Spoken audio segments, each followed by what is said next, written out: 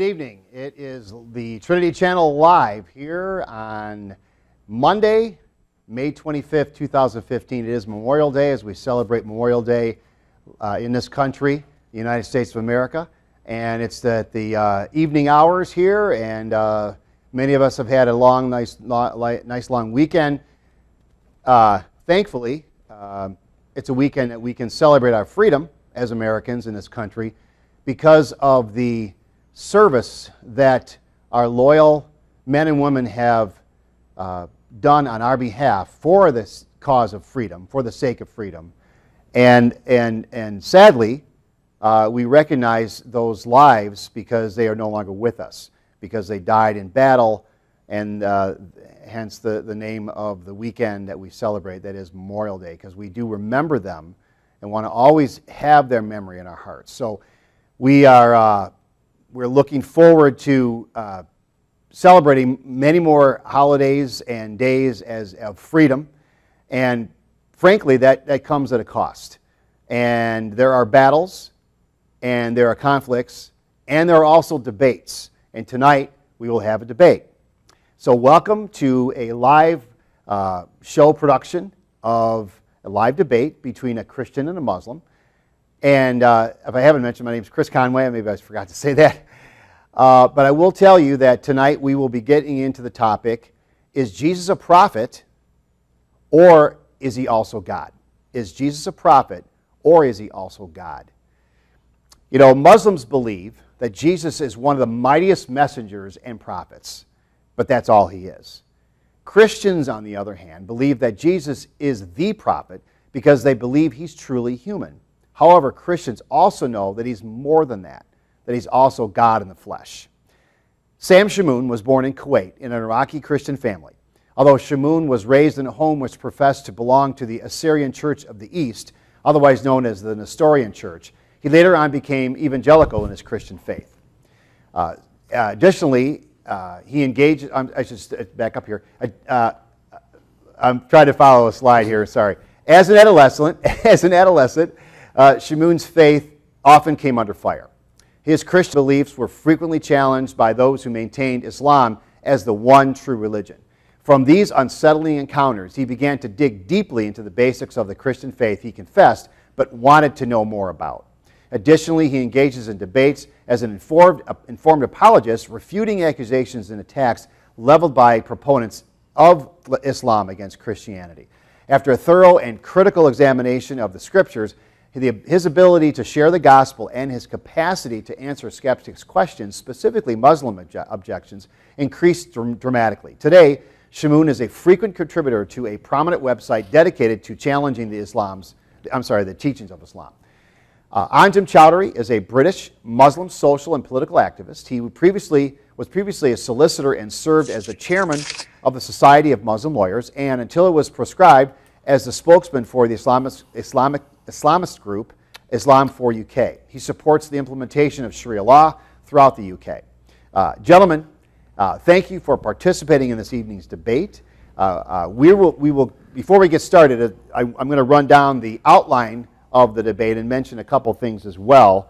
Uh, we're going to stay on topic tonight, right. and we also are going to stay on time. Each of you will be given slots of time to speak and certainly want to main, maintain the topic. So if we, for whatever reason, either of you stray off topic or stray off time, we will stop and we will uh, uh, provide the appropriate correction. That is, we may have to move on to the next person or remind you what the topic is and get you back on track. So we'll continue to track that. That'll be one of my jobs tonight.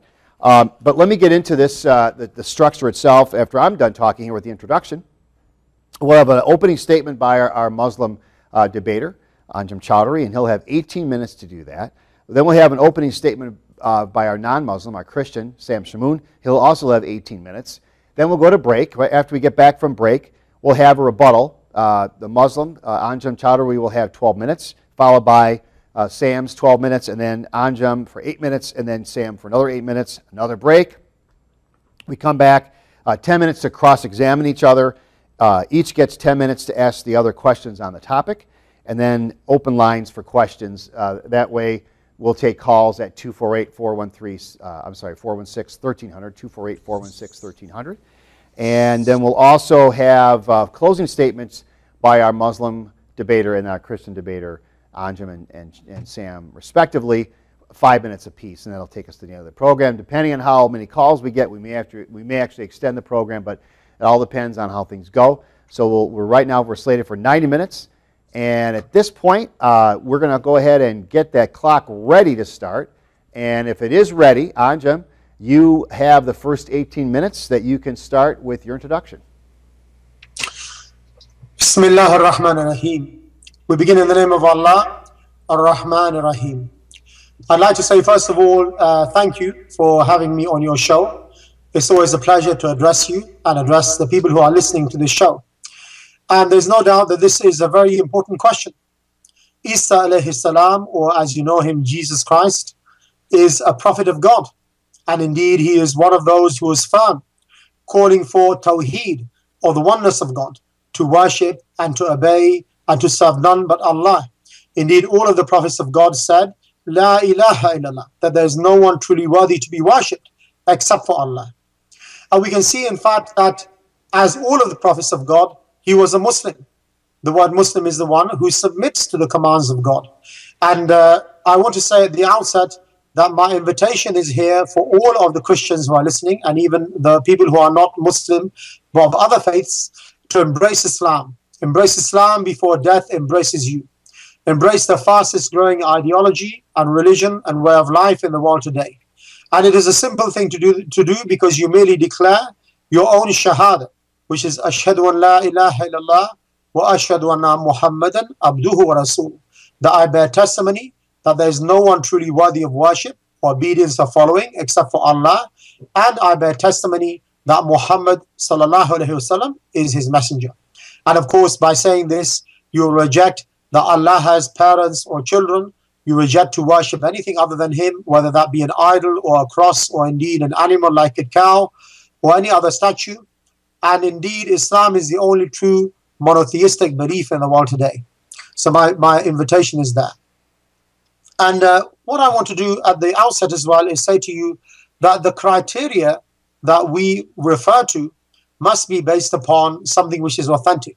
And obviously, as a Muslim, we do believe that uh, the original Injil, or what you term the Bible, has been preserved in the divine tablet in the heavens. But it so happened that Allah did not decide to preserve it on this earth. And therefore, what you have in your hand which you call the Old or the New Testament, has been doctored, has been changed, and is not reliable anymore. And therefore, I cannot reliably refer to that for what, in fact, Isa alayhi salam or Jesus really said about himself and his own call. And therefore, I will be relying, obviously, on the inimitable Quran and the preserved traditions, the sayings, the actions, the consent of the Messenger Muhammad uh, sallallahu alayhi wasallam. So this is something that I must say at the outset. Uh, I will not be referring to the Bible. I don't think it's authentic. So whatever Sam may say about that, you know, it was never preserved. It was never written down uh, contemporaneously. Uh, there are gospels according to various people. We can talk about those and how those aren't authentic as well, you know, a little bit later, inshallah. But I think the most important thing is really to relate to uh, those people who don't know the true story of uh, Jesus, what in fact is mentioned about him in the Quran and indeed in the uh, uh, traditions of the Messenger Muhammad sallallahu alaihi wasallam. And this is what I want to start out uh, from. You know, it's a well-known um, uh, story, in fact, an authentic story narrated by Ibn Hisham and Ibn Ishaq and many of the uh, people who wrote about the Sirah, that in fact the Messenger Muhammad sallallahu alaihi wasallam he sent his own companions, at the head of which was Jafar bin Abi Talib, uh, anhu, to the Abyssinian king in his own time, the Najashi. And in fact, when they entered into their own court and their own um, uh, monks and their own religious people were there, they uh, related to them exactly what was taught to them by the Messenger Muhammad uh, sallallahu alaihi wasallam. And in fact, they recited to them certain verses from chapter Maryam. And I want to read these verses to you because really this explains some of the of the truth about Isa alayhi salam in the in the word of Allah, which is the Quran. This is Kalamullah Hakiki, the actual word of Allah, which is being preserved. And we can read from chapter 19, verse 16 onwards. Allah said in the Quran, in the explanation of the meaning, and mention, O Muhammad, in the book, the story of Mary, Maryam, when she withdrew from her family to a place towards the east. And she took in seclusion from them a screen. Then we sent to her our angel, and we and he represented himself to her as a well-proportioned man. Obviously, that was Jibreel alayhi salam. She said, Indeed, I seek refuge in the most merciful from you. So leave me, if you should be fearing of Allah. He said, I'm only the messenger of your Lord to give you news of a pure boy. She said, How can I have a boy while no man has touched me and I have not been unchaste? He said, Thus it will be. Your Lord says, It is easy for me. We will make him a sign to the people and a mercy from us. And it is a matter already decreed. So she conceived him, and she withdrew with him to a remote place. And the pains of childbirth drove her to the trunk of a palm tree. She said, Oh, I wish I had died before this and was in oblivion forgotten. But he called her from below her, Do not grieve. Your Lord has provided beneath you a stream. I shake towards you the trunk of the palm tree. It will drop upon you ripe, fresh dates. So eat and drink and be contented. And if you see from among humanity anyone say, Indeed, I have vowed to the most merciful abstention, so I will not speak today to any man. Then she brought him to her people, carrying him. They said, O Mary, you have certainly done a thing unprecedented. O sister of Aaron, your father was not a man of evil, nor was your mother unchaste. So she pointed to him. They said, How can we speak to one who is in the cradle, a child? And Jesus, Isa alayhi he said, Indeed, I am the servant of Allah. He has given me the scripture and made me a prophet. And he has made me blessed wherever I am and has enjoined upon me prayer and zakat as long as I remain alive. And made me dutiful to my mother, and he has not made me a wretched tyrant. And peace be upon me the day I was born, and the day I will die, and the day I am raised alive. Because indeed he will return. That is Jesus, the Son of Mary, the word of truth about which they are in dispute, obviously referring to you. It is not befitting for Allah to take a son. Exalted is He. When He decrees an affair, He only says to it, be, and it is.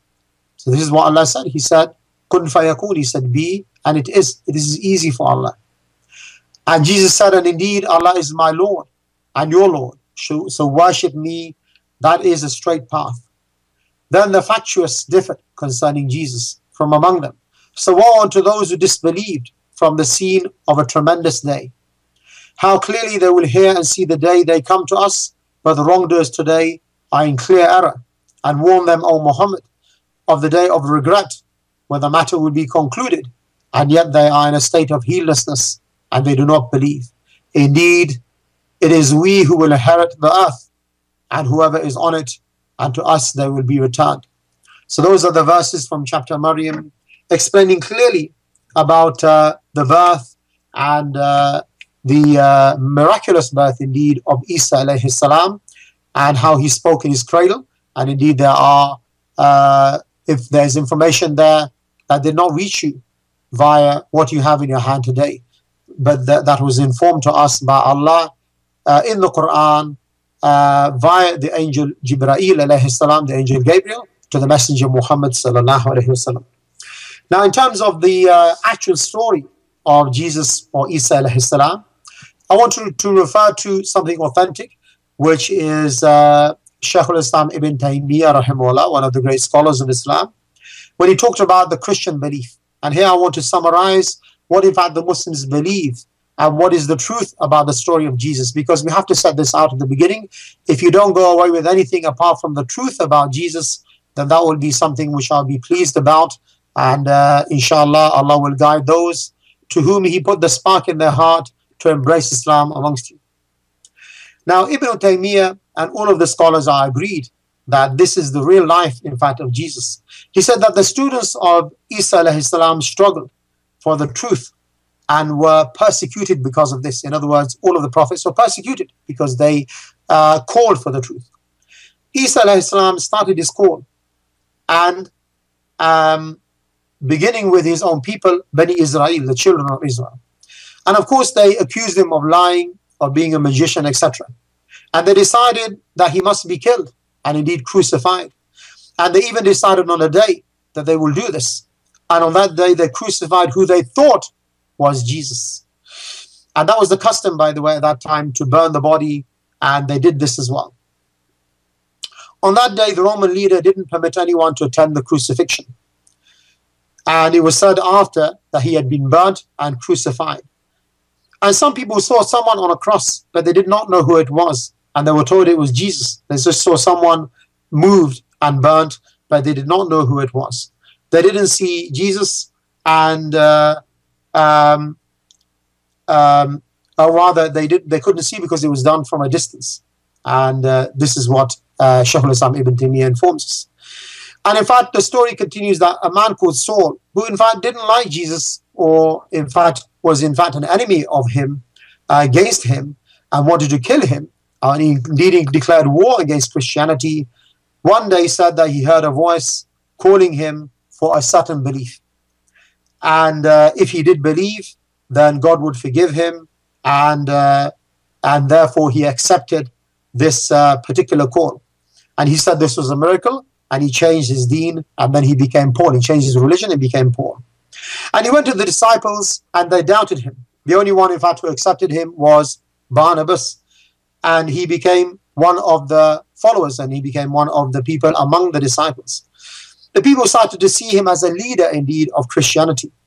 And in fact, before Saul became Paul, no one claimed the Trinity or Jesus was the Son of God. Rather, all of this came fabricated via Paul. And Saul, who became Paul, said that he saw the light as he went to Nazareth.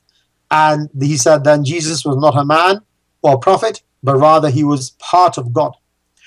And the disciples really never believed that he was crucified, but Paul continued to insist on it. And he even said he witnessed it. Rather, the one crucified, as we know, was the one who was supposed to be guarding Isa as opposed to Jesus himself.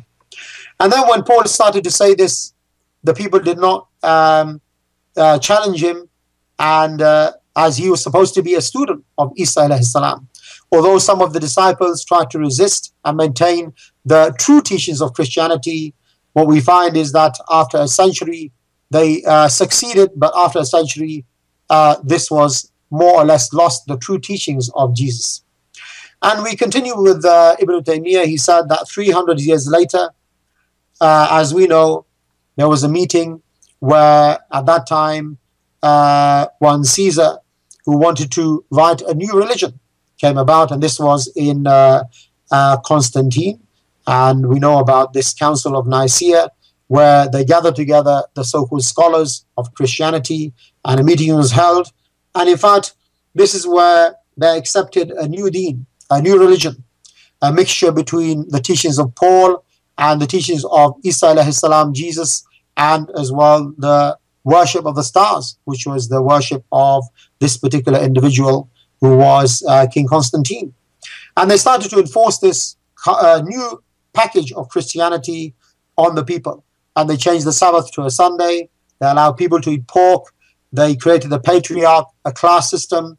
They, uh, uh, if you like, appointed figures in charge, built uh, new uh, churches, over 12,000 churches. And obviously, we have, therefore, a new religion, not the religion, in fact, of Isa salam or Jesus. Uh, how long do I have left, by the way? Hello? Four and a half minutes left. I'm sorry. Four and a half minutes, yeah, because uh, uh my timing is not here. I can't see it. Okay, so that is the true real uh, religion, in fact, and the true story of uh, Jesus as we believe as Muslims. And I want to say that at the outset, and we relate as well the story in uh, chapter Maryam. And I just want to read you a few other verses of the Quran which talk about the fact that Jesus was, in fact, a Muslim prophet and he was not God. And in fact, this is a stern warning. If we look in the Quran in chapter Nisa 171, Allah mentions, O people of the book, commit no excesses in your religion or utter anything concerning Allah but the truth. The Messiah, Jesus, son of Mary, was only a messenger of Allah, his word that he sent to Mary, and a spirit from him. So believe in Allah and his messengers and do not say three. Desist it is better for you. Allah is one God, for exalted is He above having offspring. He is all that is in the heavens and all that is in the earth. Allah is sufficient disposer of affairs. If we look as well in chapter Ma'idah, verse 17, Allah said in the explanation of the meaning of the Quran, they have indeed disbelieved those who say Allah is the Messiah, son of Mary. Say, O Muhammad, who then can do anything against Allah if he had will to destroy the Messiah, son of Mary, his mother, and everyone on earth? Allah is the kingdom of the heavens. Allah is the kingdom of the heavens and the earth and all that is in between them. He creates what He wills. Allah is able to do all things. And as well in chapter 5, verse 72, as well in chapter Al-Ma'idah. Surely they disbelieve who say Allah is Messiah, son of Mary. The Messiah himself said, O children of Israel, worship Allah, my Lord and your Lord. Whoever joins other gods with Allah, for him Allah has forbidden paradise his abode is in the fire, and the evildoers shall have no helpers. And as well in chapter 573 in the following verse, surely they disbelieve those who say Allah is one of three. There is only one God.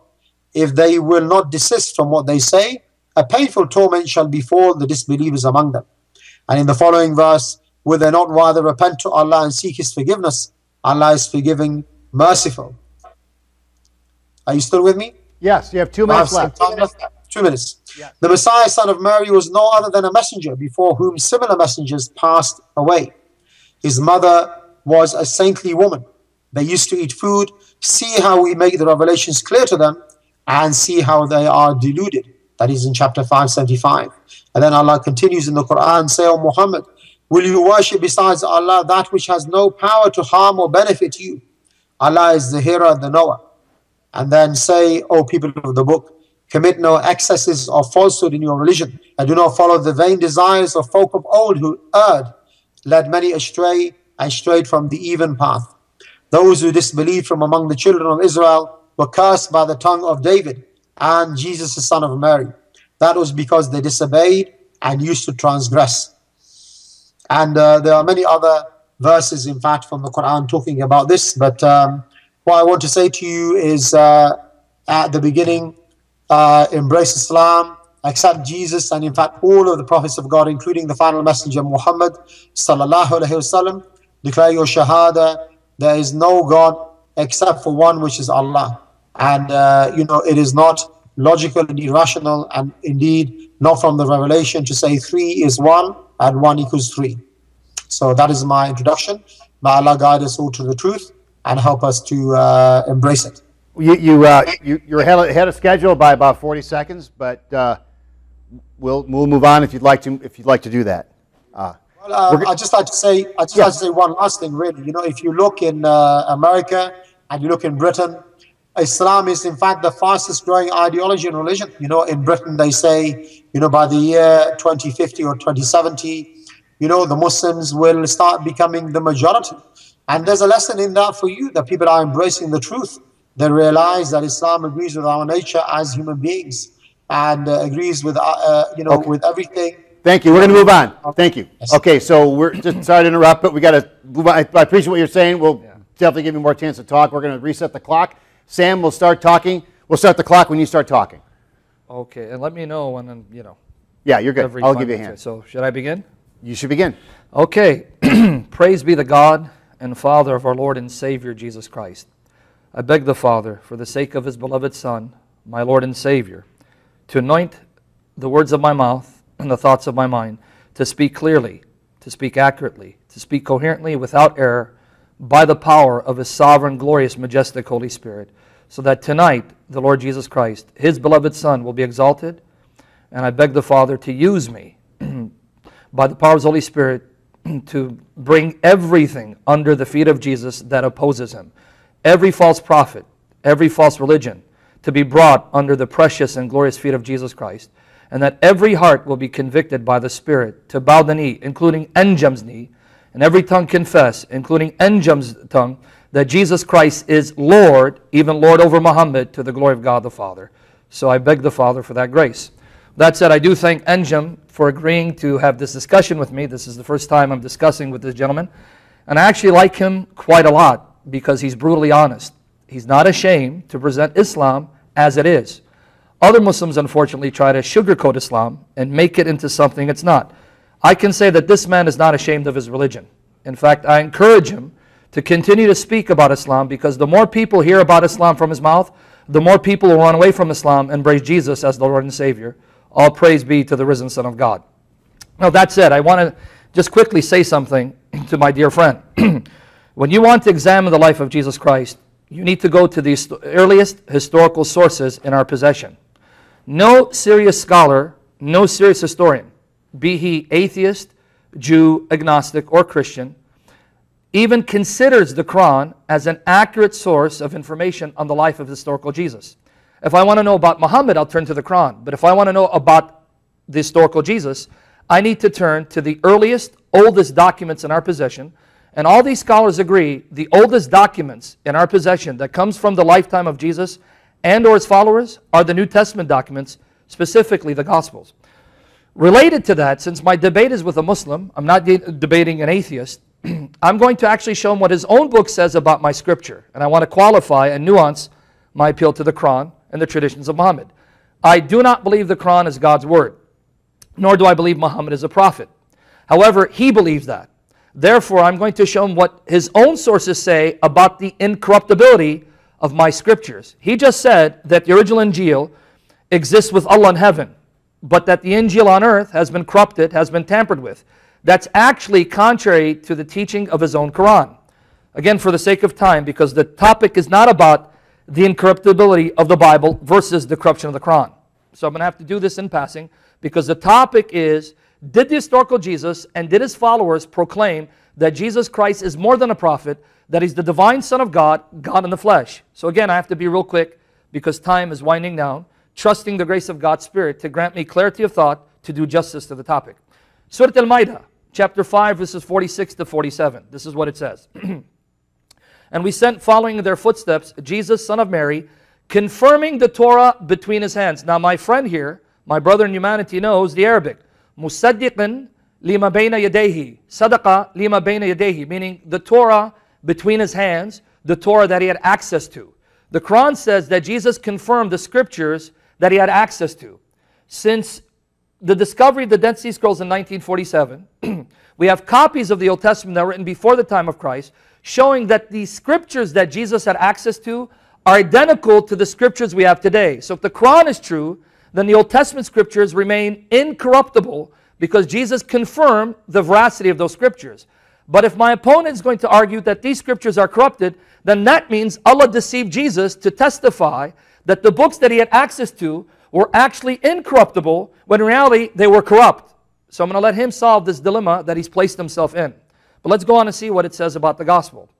And we gave to him the gospel, wherein is guidance and light, not was, wherein is, addressing Muhammad's contemporaries, addressing the Christians at Muhammad's time, wherein is guidance and light, confirming the Torah between his hands, sadaqah lima bayna yadehi, that Jesus had access to. So not only Jesus, but the gospel given to Jesus confirms the Torah, the scriptures that came before Jesus, as a guidance and admonition unto the God-fearing. So let the people of the gospel judge according to what God has sent down therein. Here's my question for my opponent tonight. How in the world could the Christians of Muhammad's time judge by the gospel given to Jesus if you're right that gospel had been corrupted? More importantly, are you trying to convince the audience that your prophet exhorted Christians to judge by a corrupted gospel? If so, how can we trust your prophet? But then on the flip side, if I do as your prophet exhorts me to do, and judge by the gospel that the Christians of Muhammad's time had access to, well, the only gospel they had access to is the same gospel in my possession in the New Testament. And if I judge Islam according to that revelation, Muhammad turns out to be a false prophet and an antichrist because he denied that God is the Father and that Jesus is his beloved Son. So damn if you do and damn if you don't. Welcome to the wonderful world of Islamic Dilemma 101. But again, another one. Chapter 7, verse 157 of the Quran. Those who follow the messenger, the prophet of the common folk, whom they find. Pay attention to this, Anjem. This is your own source that you believe in it. I don't, you do. So you're going to have to deal with this. Those who follow the messenger, the prophet of the common folk, whom they find written down with them in the Torah and the gospel. You said the gospel is with Allah. So what they have on earth is something corrupt. This verse says, you don't know what you're talking, talking about, my friend. It says, written down with them in the Torah and the gospel. So the true gospel wasn't in heaven, it was on earth in the possession of the Christians of Muhammad's time. Now I'm going to ask you to tell us what that gospel is, but I'm going to give you a little help. I'm going to show you what Ibn Ishaq said in Sirat Rasulullah in identifying that gospel for us. Here's what he said. Sirat Rasulullah, I'm quoting the English translation by Alfred Guillaume, pages 103 to 104. So you don't need to guess. One of your earliest sources on Muhammad's life tells you what the gospel is. Among the things which have reached me about what Jesus, the Son of Mary, stated in the gospel, which he received from God for the followers of the gospel in applying a term to describe the apostle of God. Now, Ibn Ishaq erroneously thinks that the gospel of Jesus contains a prophecy of Muhammad. On the contrary, and I challenge you to debate me whether Muhammad was prophesied by the prophets who came before him. Now, with that said, here's what he quotes It is extracted from what John, pay attention, Anjem, it is extracted from what John the apostle set down for them when he wrote the gospel for them from the testament of Jesus, son of Mary. According to your earliest extant biography on the life of Muhammad, which was edited by Ibn Hisham, and then when Ibn Hisham edited Ibn Ishaq's biography, he left this intact, meaning that it met his approval. John wrote down the gospel of Jesus. And here he cites John chapter 15, verses 23 to chapter 16, verse 1. So here, your own source identifies John's gospel as the inscripturation of the gospel of Jesus Christ. So please, do not try to say that your sources deny the incorruptibility, preservation, and availability of the gospel of Jesus. That's not what your Quran or your prophet or your earliest sources taught. Now that I've got out, gotten that red herring out of the way, let's now come to the heart of the matter, the meat of the matter. Remember, Anjem said that Jesus is a Muslim. if that's so, that means Jesus and his followers affirm Tawheed.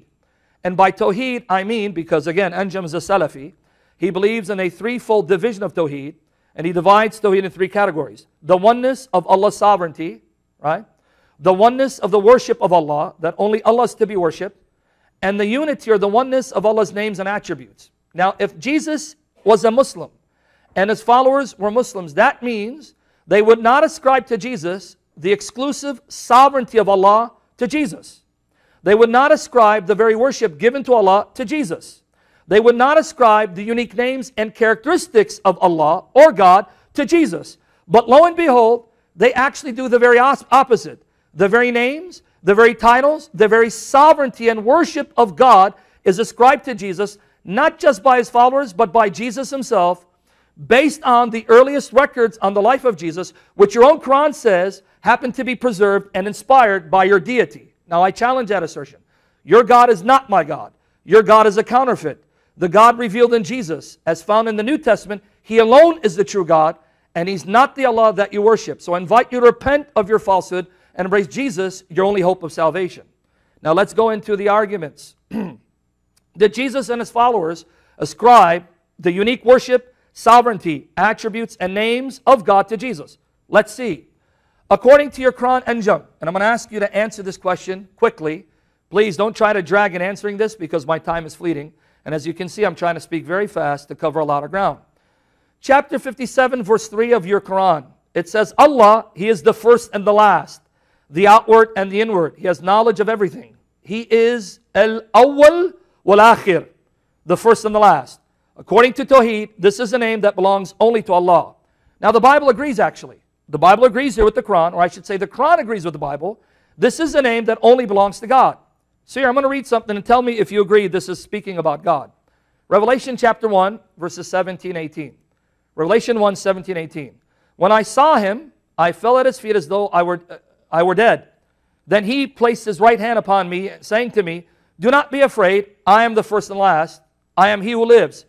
Now, Anjem, do you agree that what I just read from the New Testament, the one speaking, saying, I am the first and the last, and he who lives, that is God? Do you agree, real quickly? Can he answer? You're smiling? Yes? Did he say yes? I think we're coming to the crossfire a little bit later, Sam. Let's Okay, fine. Well, anyway, okay, that smile, I'll take that smirk as a yes. Okay, my friend. Well, let me show you what your God said about himself. I am the first and last, I am he who lives. Though I was dead, look, I am alive forever, forevermore. Here Jesus says, He is the first and the last who lives, who died.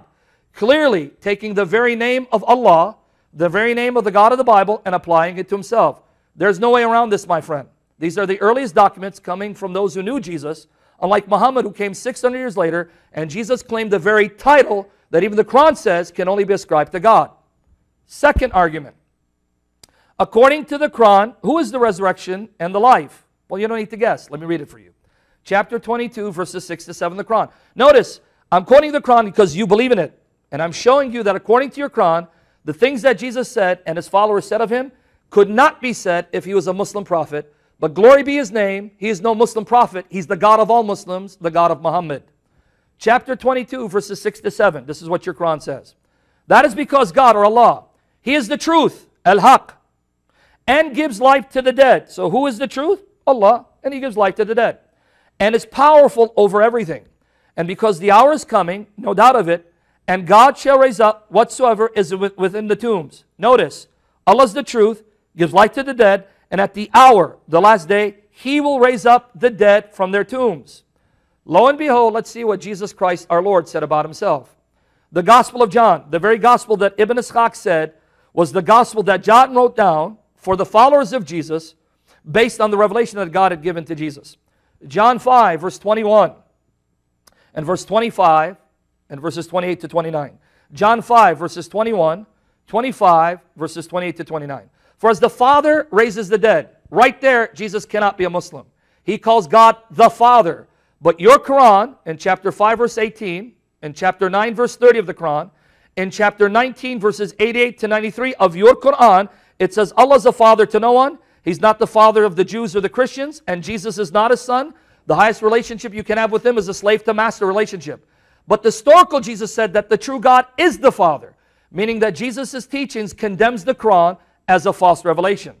For as the Father raises the dead and gives them life, even so the Son gives life to whom he will. But your Quran says that's something that Allah does. Allah gives life. And Jesus says, I, the Son, give life. Truly, truly, I say to you, the hour, remember what the Quran said? The hour is coming and is now here when the dead will hear the voice of the Son of God, not the voice of Allah, not the voice of Muhammad, not the voice of Ibn Taymiyyah, the voice of the Son of God. And those who hear will live. Do not marvel at this, for the hour is coming in which all who are in the graves, our graves, will hear the voice of the Son of God, His voice, and come out. Jesus just said that at the last hour, those in the graves will be hearing the voice of the Son of God, and He will give the life and raise them up. But according to the Quran, this is something that only God does and not a creature. Therefore, Jesus is claiming to be God in the flesh, although He's not the Father or the Holy Spirit. But it goes beyond that. One of the names of Allah, according to the verse I read, is that He's Al Haq, the truth. John 14, verse 6.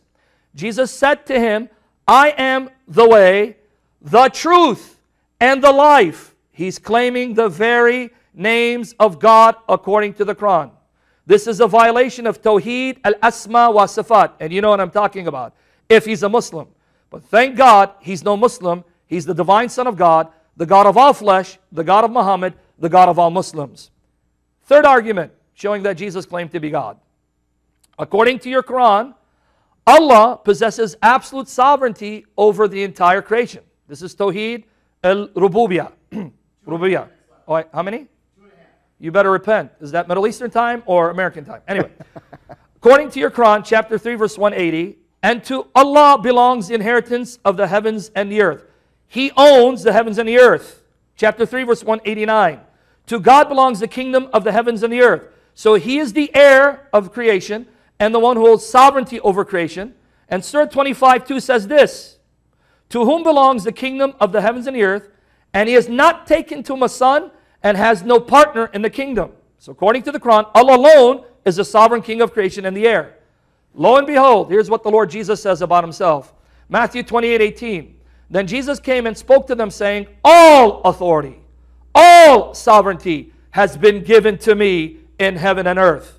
Mark 12, 6 to 8. Who's the heir of creation? Your Quran says Allah. Jesus says, It's me, the beloved Son.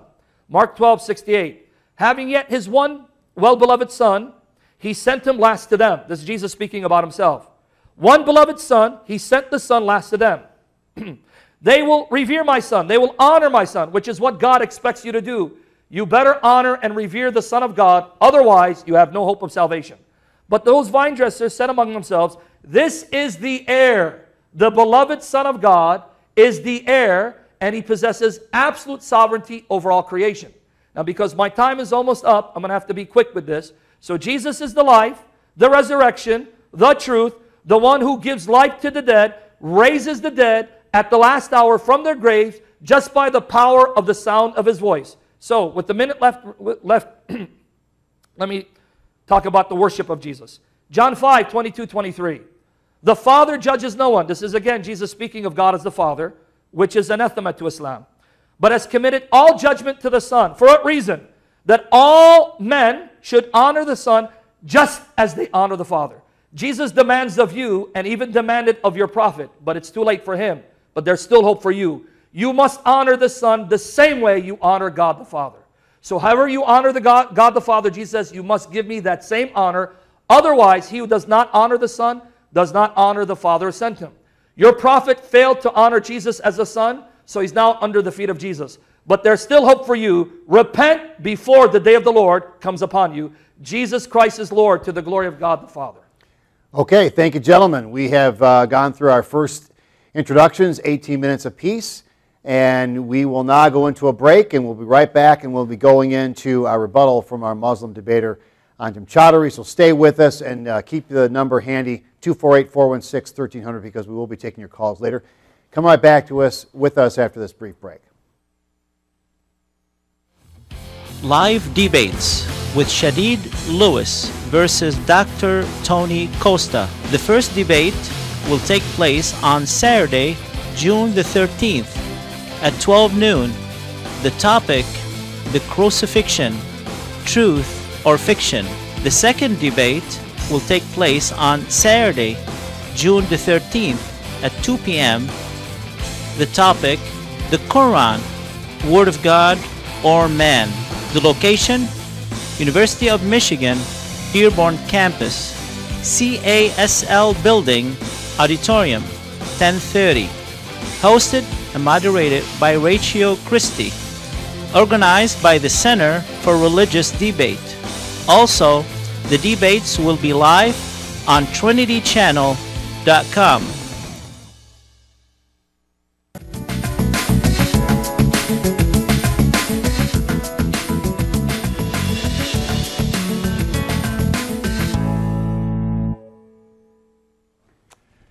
I'm Dave Agema, former state representative, former fighter pilot, former airline pilot, and I'm here at the ABN Trinity Studios to encourage you to read, watch, and donate to ABN and the Trinity channels.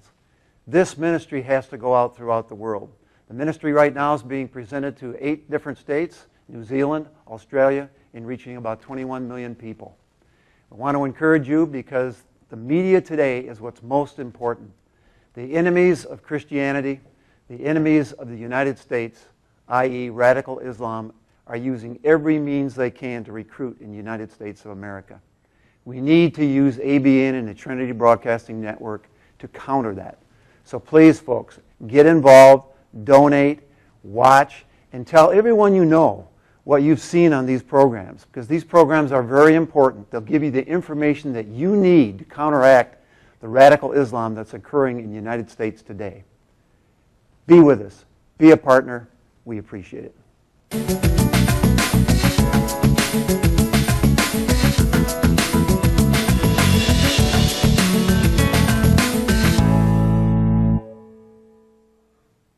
And we are back, and we'll get right into it. We've uh, reset the clock.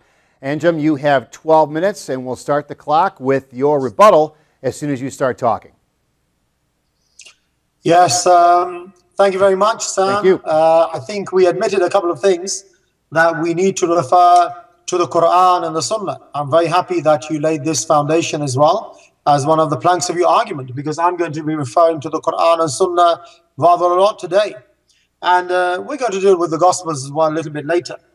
But um, let me just begin by saying that uh, you can't be selective, you see, from what you quote from the inimitable word of God, which is the Quran, the actual word of Allah as revealed to uh, the Messenger Muhammad sallallahu alaihi wasallam. You can't pick and choose.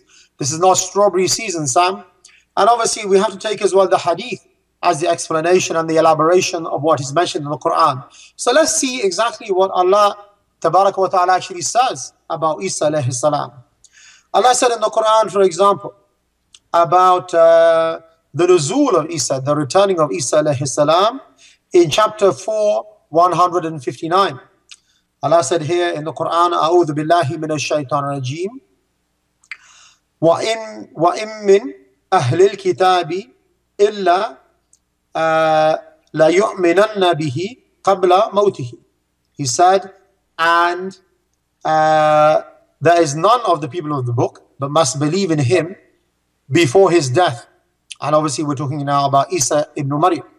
Now, if you look at the Asbab al-Nuzul, which I'm sure you know what that means, the circumstances of revelation of this particular ayah in the Quran, it is narrated in Bukhari from Sa'id bin Musayyib, uh, rahimahullah, that the Messenger Muhammad uh, sallallahu alayhi wasallam said, by the one who has my soul in his hand, definitely Isa alayhi salam will return and will judge between the people and will be just for the truth.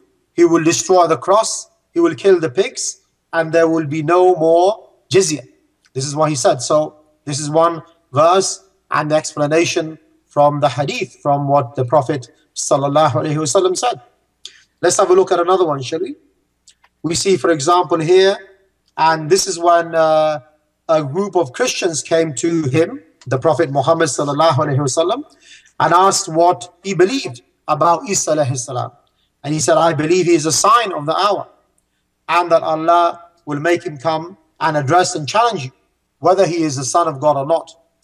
And indeed, Allah mentions in the Quran in chapter 43, verse 61, أعوذ بالله من الشيطان الرجيم وإنه لعلم لساعتي لساعتي He said that Isa will be a sign of the hour. So he is as well here uh, mentioned as a sign of the hour. That is the, if you like, circumstances of that particular verse.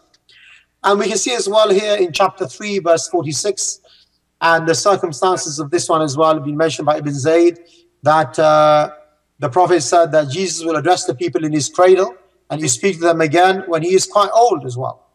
And um, uh, here Allah mentions in the Quran, أعوذ بالله من الشيطان الرجيم ويكلم الناس ويكلم الناس في المهدي وكهلا ومن الصالحين he said here and he will speak to the people in the cradle in manhood and he he will be one of the righteous so obviously Isa alayhi salam we believe will return because it is agreed that he was taken up by Allah when he was quite young and he will address the people even in his old age so I think this is important to understand and um, you know, whilst we're talking about the messengers of Allah, I would say to you that all of the messengers of Allah essentially had the same message to call the people to Tawheed. And that means al-ifrad al-ubudiyya lillah, to worship Allah exclusively, not to attribute sons or daughters or parents or cousins to Him. Secondly, to do tabligh, to command good and forbid evil, to convey the message, to carry dawah. Number three, to make bayan, to elaborate and clarify the answers to the questions that the people have to guide the people, to give them the hidayah, uh, not for their own benefit or interest, but rather to guide them to worshipping Allah.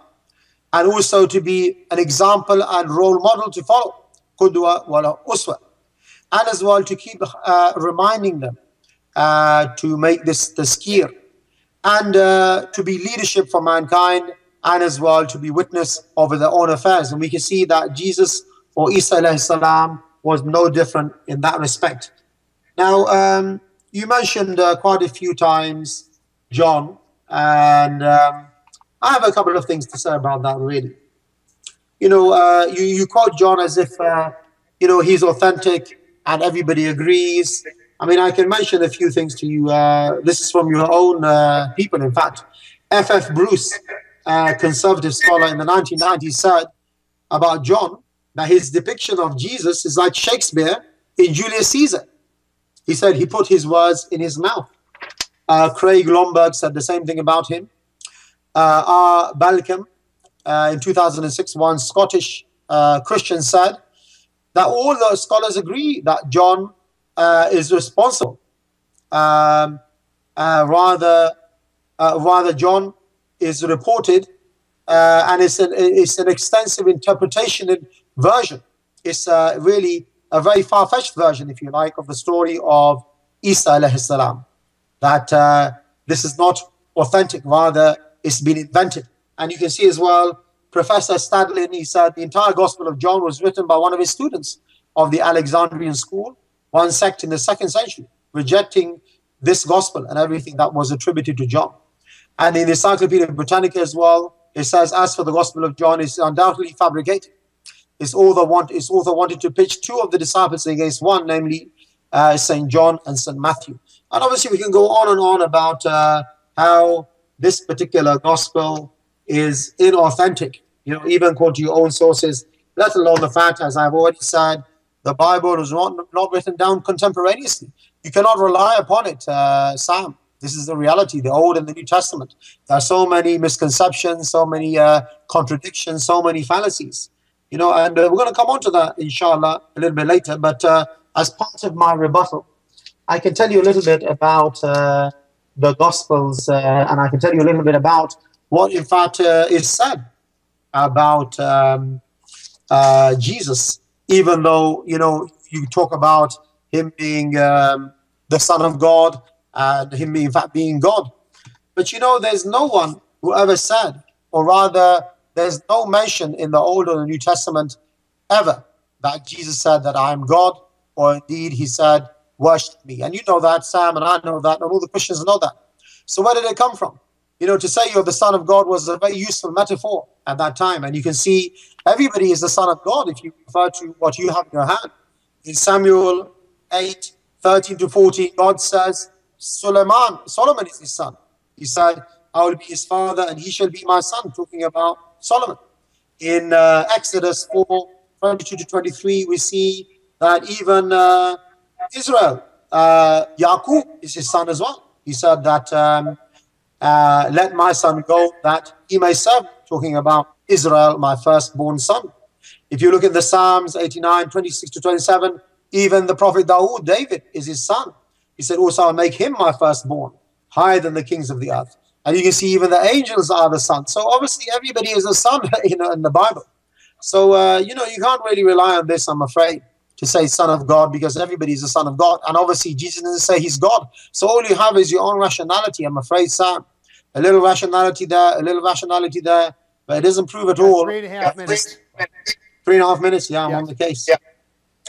And uh, in fact, if we replace son of God with servant, I think you'll say exactly what we say, and it'll be much more precise. And uh, in fact, if you look at Luke 4 41, he actually detested being labeled the Son of God. So, you know, I have a couple, couple of things really in my first rebuttal. Jesus, as we said, never said he's God. And um, his disciples never said he's God. And in fact, uh, he admits that he's distinct. He talks about God the Father. And he never says, uh, rather, to worship me as well. And oddly enough, you know, I have a quote here. I, can, I wonder if you can guess who said this, Sam. Who would be convinced that he is God when he's dying on the cross? You know who said that, Sam? Can you remember? It was you in a debate. You see, you admitted it yourself. The truth always prevails, you know, Sam. Sometimes you just expose yourself. And um, obviously, if you die, you can't be God. I mean, these things are so clear. Uh, and what was uh, what was God doing? You know, when he was born, he came out of the womb of uh, Maryam alayhi salam. Are you saying really the God was born from the womb, and uh, he was weak and needy? And what was he doing at that time? You know, he was God, was he, as a baby? Come on, let's think about this. And uh, as I say, you know, Paul says that no one can see God, and yet we can see many people saw Jesus. Uh, the Bible said God uh, gave power and authority to Jesus. But I thought he was God. Why does he need to be given power? And uh, you know, I can go on and on about this, uh, the misconceptions that you have about uh, about Jesus um, and about your understanding about uh, what exactly the Son of God. I know I have one and a half minutes. Uh, I'm monitoring the time now. And uh, you know, he can go on. Look at Mark. Jesus prays. He can't do miracles. He said he doesn't know the end of the world. He denies he's perfect. He despairs of hope. All of these things. How can you really be God? Think about it. Open your mind. Um, in Mark 5:30, Jesus doesn't know that a woman touched him. How does he not know? What is your criteria for being a God? You know, and I'll just uh, in the last minute I will say to you that uh, the use of the Son of God is not a new phenomenon. You know, the Rastafarians say Haile Selassie is God. You know, the Alawis say that uh, Imam Ali is God. Uh, there are many uh, uh, examples of this. In fact, the Son of God was a very useful metaphor and was very common among the Jews, you know, at that time. So don't be surprised. Uh, you know, the only thing I can see that you have really, uh, Sam, is a little bit of rationality here and there. And, uh, you know, that's not enough to prove that he's the Son of God. So, once again, Sam, I ask you uh, to embrace Islam, declare your Shahada. There's no one truly worthy of worship or obedience or following except for Allah, and that Muhammad is his messenger. And of course, Jesus is not the Son of God. But as I said, he's a prophet of God. We revere him. He was born immaculately without a father you know, to the Virgin Mary, the way Adam salam was born without a mother and father, doesn't make him God either. And, uh, you know, I invite you to Islam and to, to join me, and maybe we can be on the same team one day, Sam, debating Islam versus Christianity. Thank you, Anjem. Appreciate that. We have a few seconds left, but we'll keep moving here. And now we have reset the clock. And Sam, we will start that 12 minute clock when you start talking. Okay, praise be the God and Father of our Lord Jesus Christ. I beg the Father, fill me with power from the Spirit to respond accurately without error, and for the glory of Jesus, with the hopes that even Anjem will repent of his falsehood and embrace Jesus as his Lord and Savior. Now, let me try to deal with the objections he just raised, and I'll try to take the, the most recent objection and work my way backwards. Notice he said that Jesus prayed to God. and again, no Christian denies that Jesus prayed to God because, in that context, he's praying to God the Father. I'm a Trinitarian. I do not believe there's a single person who is God. I believe the one God is infinitely more complex than his creation, which even the Quran admits there's nothing comparable to God. So that means God's mode of existence will transcend the existence of his creatures. And lo and behold, that's what we find in the Bible. The one God is more than one person. He's the Father, the Son, and the Spirit. Because they're different persons who exist as one God, they communicate with one another. They fellowship with one another, and they love one another. So Jesus praying to the Father is something I would expect to find if he's a different person from the Father.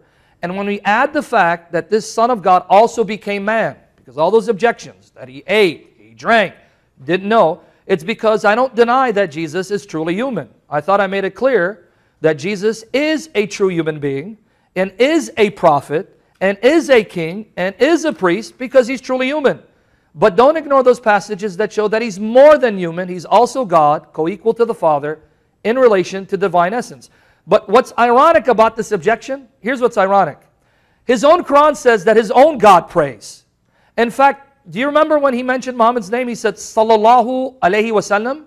Sallallahu means the prayers of Allah, alayhi, be upon him. So his own God prays. So if Jesus can't be God because he prayed, then Allah can't be God because He also prays. And that's found in the Quran. Chapter 33, verse 56 of the Quran. Chapter 33, verse 56. Lo, Allah and His angels pray for Muhammad. You Yusaloon comes from the verb salah. Pray for Muhammad. O you who believe, pray for him and salute him. Chapter 33, verse 43. He it is, Allah it is, who prays for you. Huwa Alayhi yusalli. Yusalli from the verb salah. So if you have a problem with Jesus being God because he prays, time for you to give up on Allah because he prays. Now my question to you would be, since you don't believe Allah is tripersonal, who in the world is he praying to when he prays for Muhammad and he prays for believers and when he joins the angels and prays with them? Because don't forget, it says Allah and his angels together pray for your prophet. So it's time for you to abandon Islam. now, Another ironic thing, and this is why it just blew my mind. He said, God has many sons. That metaphor, Son of God, is used all throughout the scripture. Well, thank you for proving to me Muhammad is a false prophet. Why? Because according to your Quran, Muhammad did not accept the term father even in a metaphorical, spiritual sense. How do I know this? Chapter 5, verse 18. Notice what he says. Chapter 5, verse 18 of the Quran. The Jews and Christians say, We are the sons of Allah and His loved ones. No Jew, no Christian at the time Muhammad believed they were the biological, physical offspring of Allah who sired them sexually. When they said they were the sons of Allah, they meant it spiritually or metaphorically. Did your prophet say like you? Oh yeah, that's okay. You can be a son of God metaphorically because the same thing as saying servant of God. Let's see what your prophet said. So either you're going to agree with your prophet or you know more than your prophet. If you know more than your prophet, stop being a Muslim. Because here's his response. Say, why then doth he chastise you for your sins? Nay, you are not his sons. You are but mortals of his creating. So obviously, either you're going to agree with Muhammad or you disagree with him and agree that God does have sons metaphorically, which means you can't be a Muslim. Anjem, you can't have your cake and eat it too. And you accuse me of selectively citing the Quran when you're selectively citing the Bible to try to prove your position when it ends up backfiring against you. So, my brother in humanity, time for you to give up on Islam, embrace Jesus as your only hope of salvation. I really care for you enough. I don't want you to go to hell, and this path is going to lead you to hell, but Jesus will save you from the wrath to come. This too was ironic. In fact, I'm very disappointed in the level of argumentation, and it's not to put you down, because I thought you would at least would have studied my materials to see the responses that I already prepared to these typical Muslim objections. You said Jesus nowhere says, I am God or worship me. Well, nowhere did Jesus say, I am the word of Allah. Nowhere did Jesus say, I'm a spirit from him. Nowhere did Jesus say, I'm the Messiah. And yet you believe Jesus is Allah's word, a spirit from him, the Messiah, even though he never said it. So that means if you're going to be consistent, Again, you can't be a Muslim because the Quran says Jesus is Allah's word. Jesus never said that. The Quran says he's a spirit from him. In fact, you cited the verse, Surah An-Nisa 4171. You cited it. But those are not the words of Jesus, those are the words of the author of the Quran, which you erroneously think is Allah. So now if you're going to be consistent, since Jesus never said he's Messiah, Allah's word or spirit from him, then you need to deny these things and therefore side with me and reject the Quran and condemn Muhammad as a false prophet. But obviously, you won't do that because to you, it doesn't matter what Jesus says. It only matters what the Quran says. So please, for the love of God, which you claim to love, and for the sake of truth, stop being consistent. Now, this objection took the cake. You had the audacity to misquote F.F. Bruce and Craig Blomberg. They did not say that the Gospel of John is a forgery or fabrication. What they said in context is that John was inspired by the Holy Spirit to correctly interpret the sayings of Jesus. After all, they believed John was a disciple of Jesus. But beyond that, I quoted Ibn Ishaq to show you that even your earliest sources believe that John, the disciple of Jesus, wrote the gospel down. But even beyond that argument, let's assume for argument's sake, John is a fabrication. If John is a fabrication and he's written, this gospel is written in the first century, within the lifetime of the followers of the apostles, the tabi'in, the followers of the apostles, and you call into question its textual integrity, how much more should you reject what the Quran says about Jesus when it's 600 years removed from Jesus and his followers? If these scholars are going to question the Gospel of John because it's later and because it's supposedly more theologically embellished, can you, for the life of me, tell me with a straight face these same scholars would believe what the Quran says Jesus did? Are you telling me that the, these scholars would say, yes, Jesus spoke as an infant while still in the cradle, like the Quran says? Are you seriously telling me that these, these scholars would also say that Jesus is the one run, running on saying, Allah's my Lord and your Lord, worship him? I'll give you a million bucks tonight if you quote one of these scholars saying, oh yeah, John's gospel is not historical, it's a fabrication. Oh, but the words attributed to Jesus in the Quran, they're historical, although 600 years removed. Again, for the love of God and for the sake of truth, please stop being so blatantly inconsistent. If you actually believe this argument against John, they need to turn this argument against Muhammad and side with me in rejecting the Quran as fabrication, as a fraud, which it is when it comes to the life of Jesus and the prophets, and join me in worshiping Jesus as your Lord and Savior. Then you said, Jesus is one of the righteous brought near to Allah. Again, I, I feel kind of ashamed and embarrassed for you that a Christian has to teach you what the Quran says. The Quran doesn't say that Jesus is simply one of the righteous. The Quran actually says that Jesus is actually dwelling with Allah wherever Allah is. Now, you being a Salafi, you believe that Allah is above the throne, above the seven heavens. Lo and behold, chapter 3, verse 55 of the Quran. When Allah said, O Jesus, lo, I am gathering thee and causing thee to ascend unto me. Notice, he didn't say, I'm going to cause you to ascend to the second heaven, as your later traditions say. I'm going to cause you to ascend to me. and then in chapter 4, verse 158, but Allah took him, Jesus, unto himself. So if you believe in the Quran, you must believe that Jesus, and only Jesus, not even the angels, not even Jibreel, only Jesus is actually with Allah exactly where Allah is. That means according to your Quran, and again, just to correct you again, I, I stated clearly why I'm quoting the Quran. You believe in it. So I'm showing you what you're supposed to believe. And what you're supposed to believe is that my Bible is incorruptible. Stop attacking it because in attacking it, you deny the Quran. But if you agree with the Quran, the Bible is incorruptible, then you have to deny the Quran, which contradicts the Bible. Islamic Dilemma 101 damn if you do, damn if you don't. Time for you to be, be a Christian and worship Jesus. But according to your Quran, getting back to the point, Jesus is now dwelling above the seven heavens, above the throne with Allah. That's the plain, explicit statement of your Quran. So you can try to spin it, you can try to misinterpret, misinterpret it. But remember, the Quran is supposedly in plain speech, in fact, plain Arabic. And the English is just as clear as the Arabic. I took Jesus to myself, so says Allah, whom you think is the God of the Bible. So, no, he's not just one of the righteous. He's actually the most righteous, the most exalted. So righteous, so pure, that he alone dwells alongside Allah, whereas everyone else is beneath Allah and Jesus. So again, embrace Jesus as your Lord and Savior, because even your Quran says he's exalted above all creation, exalted even above Muhammad. The next point you said. What was it that you said here? What the Quran says about Jesus. You quoted 4159. All right, that's irrelevant to the topic. Whether you believe that in the end, everyone's going to be a Muslim or not. Again, that's your prerogative. But here's the dilemma, though. Here's the dilemma for you.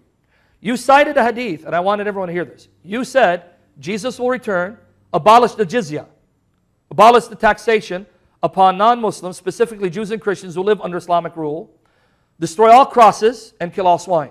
Basically, what the hadith is saying is that Jesus will usher in Islam so that all Jews and Christians must become Muslims. Thank you for proving that the Quran will be abrogated by Jesus, proving that Jesus is a prophet who cancels out the sunnah of your prophet. And the only way that Jesus could abolish the jizya, a standing command in the Quran, and convert the entire world to Islam is if he makes obsolete chapter 9, verse 29 of the Quran, which says that Jews and Christians must pay the jizya, and makes obsolete all those commands in the Quran, the direct Muslims, and how to treat and deal with non Muslims. 40 so seconds. You, you basically said when Jesus comes, all those passages about the treatment of non Muslims will be abrogated. But I thought Muhammad is the last prophet and messenger. No prophet and messenger can come and abrogate his sunnah. But you quoted a hadith where Jesus will exactly do that abrogate the sunnah of your prophet and his book. Therefore, the Quran is wrong when it says Muhammad is the last prophet and messenger because Jesus, a prophet and messenger before him, comes after him to abrogate, right, to cancel out his very sunnah, his very book. Thank you for proving again why you shouldn't be a Muslim and you need to embrace Jesus as your Lord and Savior. All right. And I bear witness that Jesus Christ is Lord to the glory of God. Thank Father. you, Sam. We're moving along. We've got eight minutes now. We're going to reset the clock. Anjem, you have an eight minute rebuttal, and we will start the clock when you start talking, sir. Yes, uh, Sam. Uh, very interesting, actually. Uh, now you're talking about something which uh, we can agree about that Jesus prayed to God, indeed. So obviously, he cannot be God. He can't be praying to himself, can he? And then you try to qualify that by saying they're different, they're completely distinct. So are we talking about two gods now? We can't have it both ways. You were talking about having your cake and eating it. I think you're having your cake, eating it, and then having your cake again and eating it again, quite frankly. And then you said they communicate with each other. Think about it, Sam. Just take a step back. God's communicating with himself. I mean, if a person does that, then usually that's a sign of insanity, isn't it? We say one of the first signs of insanity is for someone talk to him, talking to himself. And here you say they are all God, but they're completely distinct.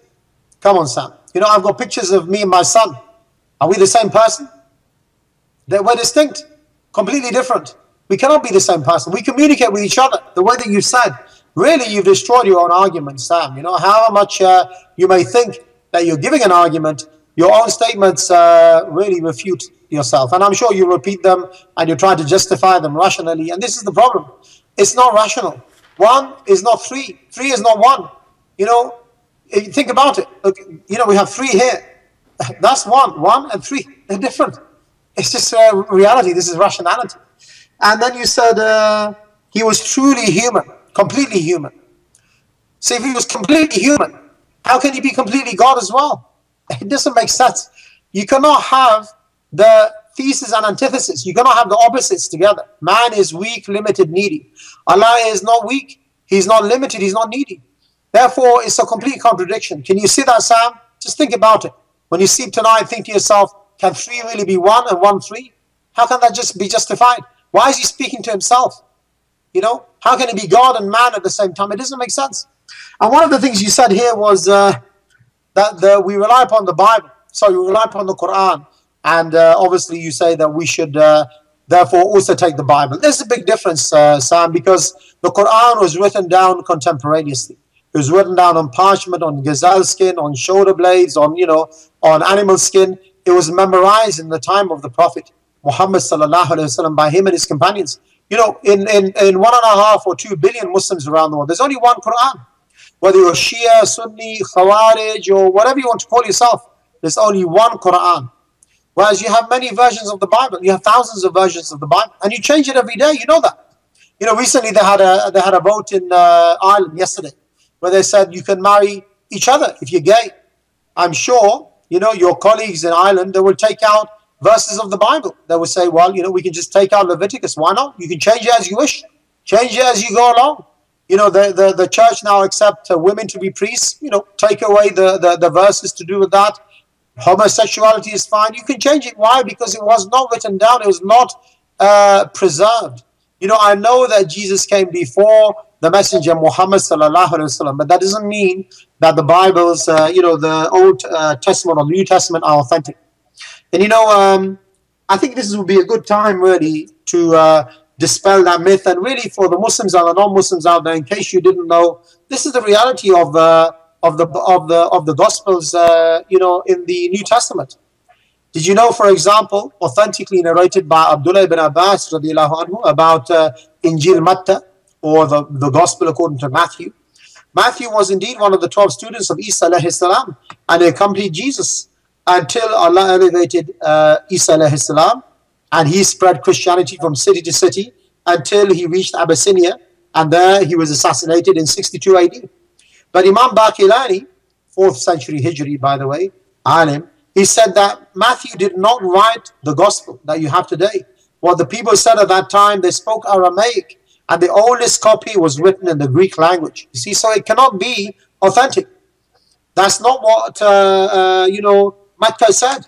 And if you look at Mark, Abdullah ibn Abbas said his name was in fact John, and his title was Mark.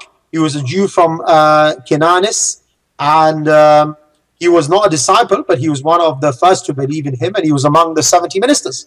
However, if we look, Imam Baqillani said that um, that in fact what happened is that um, you know that uh, this was something which was fabricated, in fact, and uh, he accompanied Saul, and he used to be a Jew, as we know, and uh, and obviously after that he uh, uh, invented many things, and really you can see that what crept into this one is what Paul really dictated, and uh, he said this was an evil man. He fabricated the things about the Trinity, seeing the light, transubstantiation, confession, original sin, etc. And that is uh, that is the effect of Paul, sadly, on Mark as well. If we look at Injil Luke, Luke as well, uh, he was a strong student of and uh, follower of Paul, in fact, not of Isa salam at all. And in fact, you can see again, it was fabricated and uh, and written really by him. And we already uh, we already dealt with the issue of John. I don't think uh, any serious scholar whether Christianity or Islam indeed, is going to accept that uh, the, the Gospel of John was written, in fact, by him, uh, and it can be attributed to the Nabi uh, uh, Isa alayhi salam. But you know, there's one thing I'd like to share with you. I know your friend Jay doesn't like to talk about it, but it's the Gospel of Barnabas. you know, you like you like the Gospel of Barnabas. You know, the Gospel of Barnabas minutes. was accepted. I know I, that's two minutes is enough for me to talk about Barnabas. Okay. It was accepted as a canonical gospel in the churches of Alexandria until 325 CE. Irenaeus uh, wrote in support of pure monotheism and opposed Paul for injecting in Christianity doctrines of pagan Roman religion and Platonic philosophy. And he's quoted extensively from the Gospel of Barnabas in support of his views. And we see in the fourth century, the Emperor Zeno, who was CE 478, as well, he talks about the remains of Barnabas being discovered, and they were found in his breast a copy of the Gospel of Barnabas written in his own hand. And this is in Acta Sanctorum Bolland, Juni Tom 2nd, uh, pages 422 to 450. And we can see Toland as well in his miscellaneous works, published posthumously in 1747, volume 1, page 380, mentions the Gospel of Barnabas. You know, the reason why we mention the Gospel of Barnabas is because it was rejected by the Council of Nicaea. There were 500 scholars who uh, rejected 120 Gospels and burned them all, also rejected Barnabas. But in fact, if you look in the Gospel of Barnabas, Jesus is the servant of God, lo and behold. And uh, he said that Muhammad uh, will come after me. And he said, Jesus said to me, in fact, that uh, don't worry about me, they can't harm me, God will elevate me. And he spoke about the life, life of Jesus exactly the same as we do, you see, uh, um, Sam. So, in my last 30 seconds, I will say to you once again, once again, you see from your own words, you refuted your argument that Jesus prayed and he's separate and you believe in three gods and not one. And I've proven as well the Gospels are not authentic. And of course, you know, Islam is the truth, you know, and therefore, once again, Sam and the people of this channel watching, embrace Islam before death embraces all of us. Thank you, Anjem. And we uh, have uh, eight minutes remaining before we go to break, so we'll reset the clock, and Sam will start that eight-minute clock as soon as you start talking. Okay, praise be the God and Father of our Lord Jesus Christ. May anoint me to speak truth for the glory of Christ, and so that Anjem can convict it and get saved. um, again, he reiterated the fact that Jesus prayed to God the Father, and because that proves that they're distinct, somehow this means that they're two gods. This argument assumes that God's existence is identical to the way creatures exist. It is true that among creatures, when you find one being, typically that's also a single person. But both the Bible and the Quran agree Allah, whom he believes is the God of the Bible, so I'll use the term Allah, is unlike anything in creation. In order for his argument to work, that God cannot be a single God if he's more than one person, that means God's mode of existence must be identical to his creatures. If it is, that means now he's made creatures identical to God, thereby committing shirk, because he's now likening God's existence to the existence of his creation, making them partners in the way they exist. Therefore, you have now committed shirk. My brother in humanity, you now stand condemned by the Quran as a mushrik. Off to hell you go. You need to repent. God is unlike anything in creation. Therefore, his existence won't be comparable to anything in creation. To say that God is one in one way and more than one in another way is not a contradiction because you believe this. For example, you said one is not three, three is not one. Well, one is not 99 and 99 is not one. You believe Allah is one, but He has 99 names and attributes. Therefore, I'm going to insist you need to become a Mutazili because the Mutazilites said that Allah cannot have a plurality of attributes if He is a singular being. So they're more consistent than you. So the fact that you believe that Allah is one and 99 means that again, you have 99 gods. And you'd say, nonsense. I'm saying Allah is one in one way, but He's more than one in another way. And there's no contradiction. Exactly. God can be one in one sense, one being, but more than one in another sense. A plurality of persons and attributes, no contradiction. The contradiction only exists in your mind because you're likening your God to creation. Now, maybe your God is like creation. My God isn't. He's infinitely greater than creation. But here's what's ironic. If Jesus praying to the Father proves he's a separate God from the Father, then your Quran is a separate God from Allah. Because as a Salafi, as someone who's part of the Ahl al-Sunnah wa Jama'ah, you believe the Quran is Kalam Allah, the speech of Allah, and it's one of His sifat, His attributes, and it's uncreated. Well, if the Quran is uncreated, then it has to be Allah. But you'll say, no, no, it's not Allah. It's the speech of Allah. Well, if it's not Allah, then you have something other than Allah that's eternal. That's two eternals. You have two gods. Allah and the Quran. Start worshiping your Quran. But it's going to get even worse. Here's a hadith from Mishkat al-Masabi. Mishkat al-Masabi. Here's a hadith where your Quran prays to Allah. Let me read it to you. Khalid bin Madan said, recite the rescuer, which is Alif Lam Mim, the sending down. For I have heard that a man who had committed many sins used to recite it and nothing else. It spread its wings over him. The Quran spread its wings over him and said, My Lord, forgive him, for he often used to recite me. So the Quran has a Lord over it, and the Quran is praying to Allah, and the Quran intercedes with Allah. So that's now two conscious entities, Allah the Quran. And if the Quran is speaking to Allah, definitely it cannot be Allah. You have two gods. Now you're a mushrik, you stand condemned. Time for you to abandon Islam and worship Jesus as your Lord and Savior. Now, you butchered church history. You said in the Council of Nicaea they rejected the Gospel of Barnabas and other Gospels. Again, I have to say, in sincere love for you, because I love you for the sake of Jesus, and I really want to see you get saved. But the path you're headed is a path to destruction. May Jesus rescue you, rescue you from that path, because the Quran cannot rescue you. The Council of Nicaea had nothing to do with the canonization of the books of the New Testament. I know Muslims like to repeat this lie, but it is a lie. Just pick up any book on church history, you will see that council had nothing to do with the canonization of the books of the New Testament. That's one. Number two, you confused the Gospel of Barnabas, which is a 16th century medieval forgery, with the Epistle of Barnabas. You confuse two different documents. Yes, the Epistle of Barnabas is believed to be something written either in the latter part of the first century or the start of the second century. And that epistle is thoroughly orthodox in its view of Jesus because it identifies Jesus as the Lord, the Son of God, who is with God the Father, and whom God the Father uttered the words of Genesis 1:26. In the epistle of Barnabas, the author has God the Father saying to Jesus, "Let us make man in our image, in our likeness." Thereby affirming that this author believed Jesus was there with the Father at creation and was used by the Father to create all things. Now, if you're right that the gospel of Barnabas is true, you again prove that Muhammad is a false prophet. Man, you cannot have your cake and eat it too. The Quran goes out of its way to say that Jesus is the Messiah. But in this forgery that you're citing, Jesus says, No, I'm not the Messiah. The one who comes after me, whose name is Muhammad, he's the Messiah. So if the gospel of Barnabas is right, that means the Quran is wrong. Because the Quran says Jesus is the Messiah.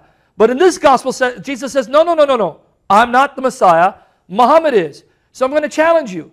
Quote a verse in the Quran where Jesus says, I'm not Messiah, and where it says, Muhammad is the Messiah. Please, you can't have your cake and eat it too. So for the love of God that you claim to love, and for the sake of truth, abandon these weak, pathetic arguments and see the light of the gospel of the glory of Christ, who's the image of God and your only hope of salvation. What else did you say here? Oh, you quoted Irenaeus to say he's a Unitarian? and I don't mean to laugh to belittle you. Believe me, I don't mean this.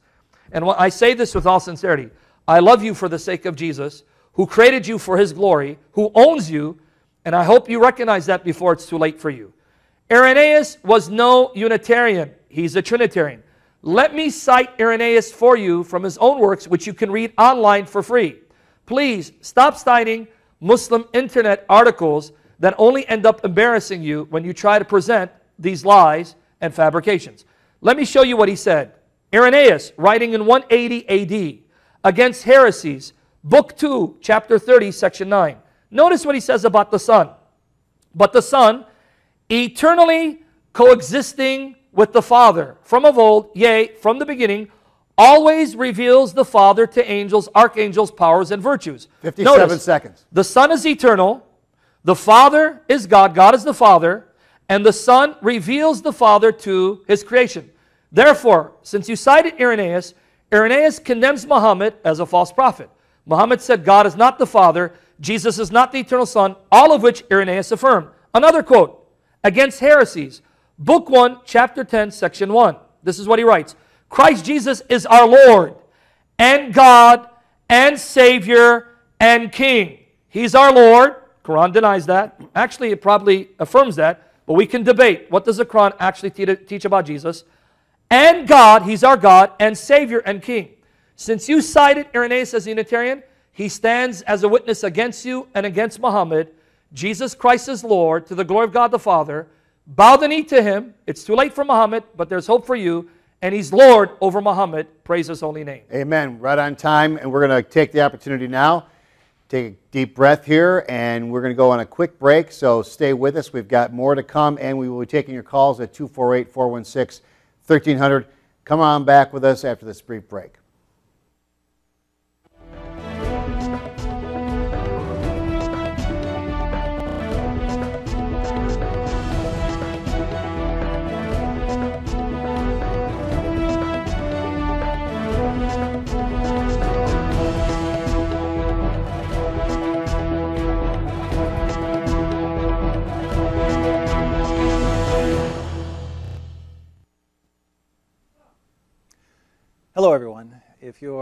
Watching the news and you look around at the things that are going on in the world, you may notice that we are in perilous times, and we are.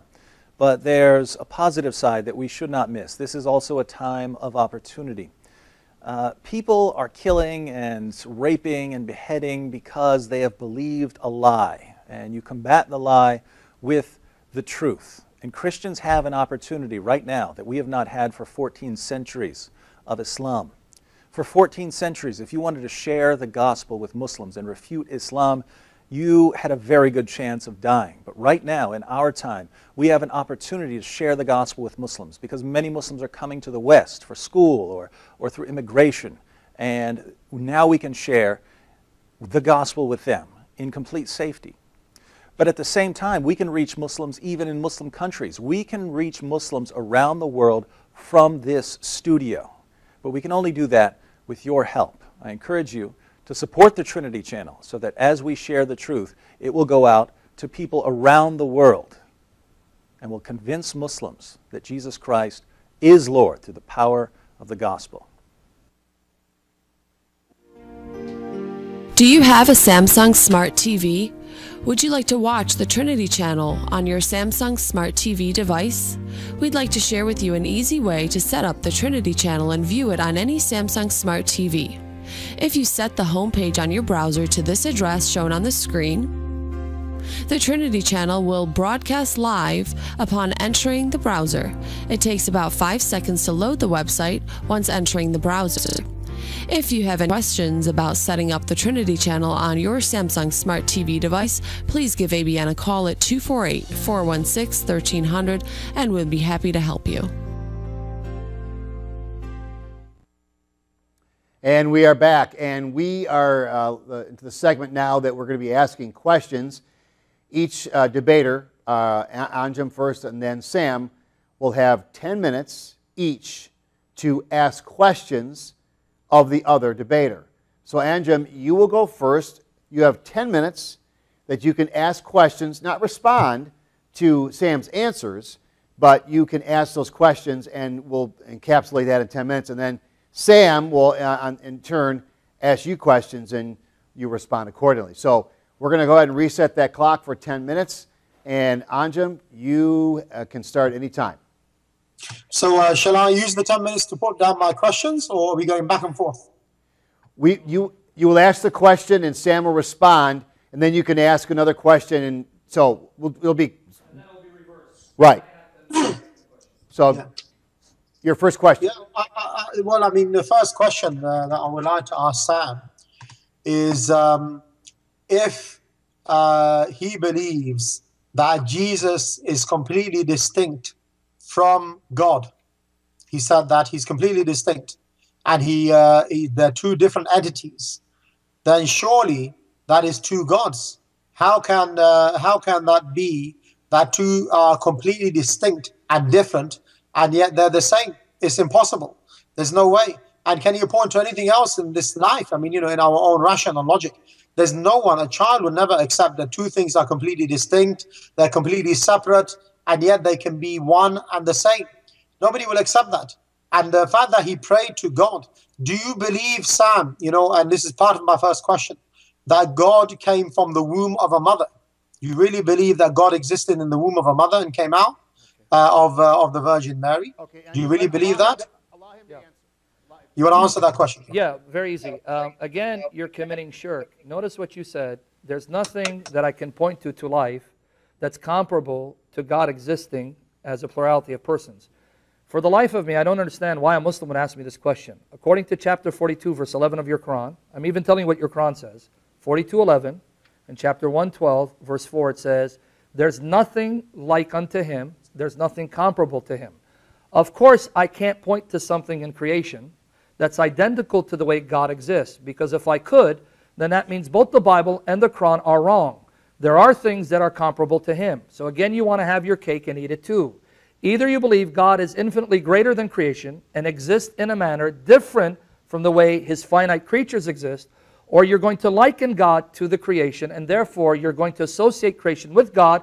You're now a mushrik and you stand condemned to hell. Going back to, your, uh, to the question about Jesus being completely distinct from God. If you notice what I said, I said the Father, because you're assuming that God is a single person. So if God is a single person and Jesus is distinct from him, then there would be two gods. But I don't believe that. I believe the Father is God, and that Jesus is his eternal Son, his Word, and that also the Holy Spirit belongs to the Father, so that they're not sep- three separate beings, but one eternal being, the Father, his eternal Word, his Son, his beloved, and his eternal Spirit. I even gave you something similar in Islam. I don't believe in Islam. I don't believe what you believe, but you believe it. You believe the same thing about the Quran. The difference between you and me is I believe Allah's kalam, kalam Allah, which the Quran calls Jesus, by the way, kalimat Allah, became flesh. You believe it became a book. And yet at the same time, you would not say the Quran is Allah, nor would you say the Quran is created, because if you said the Quran is created, you now stand outside the fold of Islam, you now commit kufr, and you stand condemned, because I know what you believe. You're a Salafi, and you belong to Ahl al-Sunnah wa Jama'ah. According to what you believe, Quran is kalam Allah. It's uncreated. So now maybe you need to explain to me, and I'm going to ask you when it's my time to ask questions, how the Quran can be uncreated, eternal, and yet not be the same as Allah. You have two gods, and I even quoted a narration. And there's not just one, I have many. I wrote an article on this. That the Quran actually speaks to your God. So if you have a problem with Jesus praying to the Father, even though I keep saying he's not the Father, how much more should you have a problem with the book praying to your God? But it seems that that doesn't bother you because your response to me will be, Allahu Alam, this is Islam. Muhammad said it, I accept it, even though it doesn't make sense. Allahu Alam. Stop being inconsistent and please be consistent. And to answer your question, yes, the eternal Son, who's fully God, became a flesh and blood human being and chose to be born from his blessed mother and received a human nature from her and came out of her blessed womb by the power of the Holy Spirit. Yes, that's what God did because that's how much He loves His creation.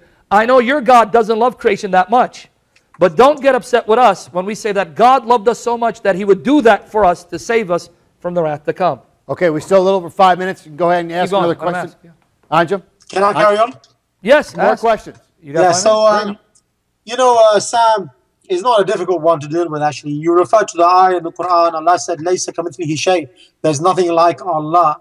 And obviously, we believe that the Quran is kalamullah hakiki.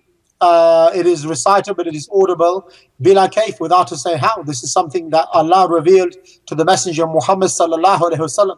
We don't say that it's part, you know, uh, that Allah become distinct. Rather, Allah spoke, it was His kalam, and uh, Jibreel alayhi salam, He repeated it to the Messenger Muhammad sallallahu alaihi wasallam, and we recite it. We recite the word of Allah, but we never said that. Uh, Anjem, it's time to ask a question. You're- Anjem, it's and You're making second, one responses. You gotta I'm- I'm ask finishing. I'm- This is my uh, 10 minutes. Uh, No, this is the time to ask questions. Ask a question. comments. Ask me questions. Yes. back to the question. I'm just, I was just answering, uh, answering him. I've got- I've got a you can few answer when it's your turn, not yeah, now. Let me put them all together for you, Sam.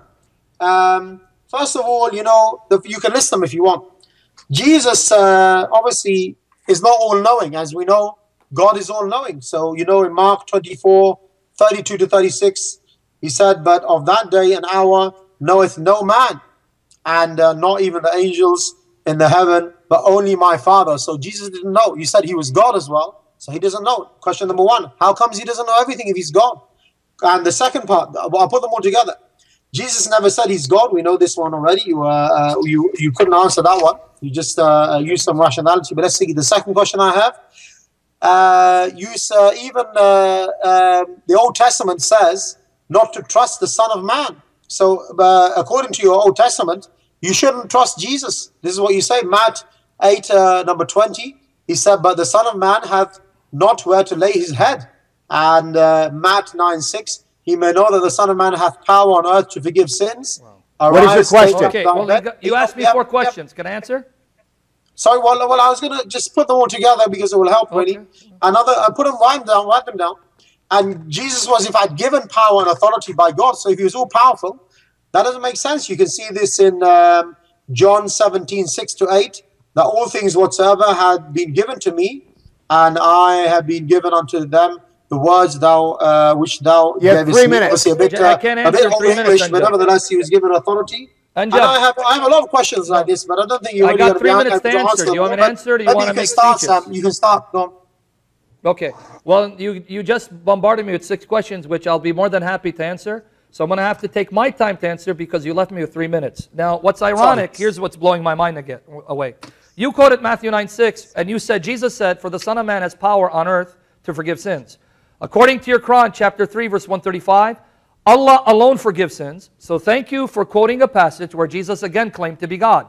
You're not helping your case by citing these passages. You cited Matthew 9 6, and you said, Jesus said, For the Son of Man has power on earth to forgive sins. Read your Quran, Anjem, chapter 3, verse 135. It says, Who can forgive sins but Allah alone? And you just cited Jesus claiming to forgive sins, something only God can do. Thank you for helping me prove that Jesus is God in the flesh. And then you referred to a passage about the Son of Man. Go read that passage in context. The reference to Son of Man means fallible, imperfect human beings. And yes, all of us sons of men are infallible, I'm sorry, fallible, imperfect, we're not trustworthy. But conveniently, you didn't quote Daniel 7, 13 to 14 and mention that particular Son of Man. Here's Daniel 7, 13 to 14. I saw in the night visions, and there was one like a Son of Man coming with the clouds of heaven. Read your Quran, Surah Al Baqarah, chapter 2, verse 210. Allah comes with the clouds and his angels. This Son of Man comes with the clouds, which even the Quran says it's something that only Allah does. He came to the Ancient of Days. That's two. Son of Man, Ancient of Days. And this is the prophet Daniel. Two, right? And was presented before him. Watch this. There was given to him dominion. This Son of Man was given dominion, glory, a kingdom that all peoples, nations, not some, all peoples, that includes Muslim peoples, that includes you, all languages, all nations, that includes you, the Muslim Ummah, should worship him. Worship who? This Son of Man who comes with the clouds. His dominion, the Son of Man, is an everlasting dominion which shall not pass away, and his kingdom that which shall not be destroyed. And if you go to Mark 14, 61, 62, when the high priest says to Jesus, Are you the Christ, the Son of the Blessed? He says, I am, and you shall see the Son of Man seated at the right hand of power, coming with the clouds of heaven. Jesus claims to be this Son of Man, not an ordinary Son of Man who's a sinner like you and I, but this glorious Son of Man who's distinct from the Ancient of Days, meaning the Father, and yet with the Father rules forever and it's to be worshiped by all creation. That means Jesus is claiming the very ibadah of God. He's 15 saying, seconds. You have to worship me, the wor- worship the Father. And he's also claiming the rububiyah of God, that he is sovereign over creation. So now the problem is in your hands. If Jesus is a creature, then God wouldn't give a creature Sam, his glory. But he up. does, because he's no creature. Okay, Sam, now you we have 10 minutes to reset the clock, or 10 minutes for the next segment here. And you now, Sam, you can ask the questions, and we'll start right now. Now, again, Anjem, I respect you because you have demonstrated to me that you're quite honest. And I'm not just saying this. I've actually said people, you're one of the most honest Muslims that I've met because you, you say it like it is, and I really respect you for that. And like I said, I have love for you for the sake of Jesus. But here's my question to you, and I know you're going to answer honestly. You're not going to tap dance. You're not going to do what other Muslims do because I know that you're different. Can you explain to me who does your God pray to when he prays for Muhammad and believers? Because in chapter 33, verse 43 of the Quran, it says this He it is who prays for you or upon you and so do his angels. And you know the Arabic verb very well. It's yusalli from salah. It's not barakah, so don't tell me it's blessing. Which verse? Uh, let me make my question. Uh, chapter 33, I'm sorry. Chapter 33, verse 43 of the Quran. And you know Arabic, so you're not going to tell me, oh, it means barakah. No, blessing is barakah. And it doesn't mean rahma, that's mercy. It's yusalli, from the verb salah. He it is who prays for you, believers, and so do his angels, that he may bring you forth from darkness unto light. The other one, which is relevant to what you said earlier, chapter 33, verse 56 of the Quran. Chapter 33, verse 56. Lo, Allah and His angels. And you know the Arabic conjunction wa. It says inna Allah wa malaikatu, right? Wa, angels. That's a conjunction of partnership.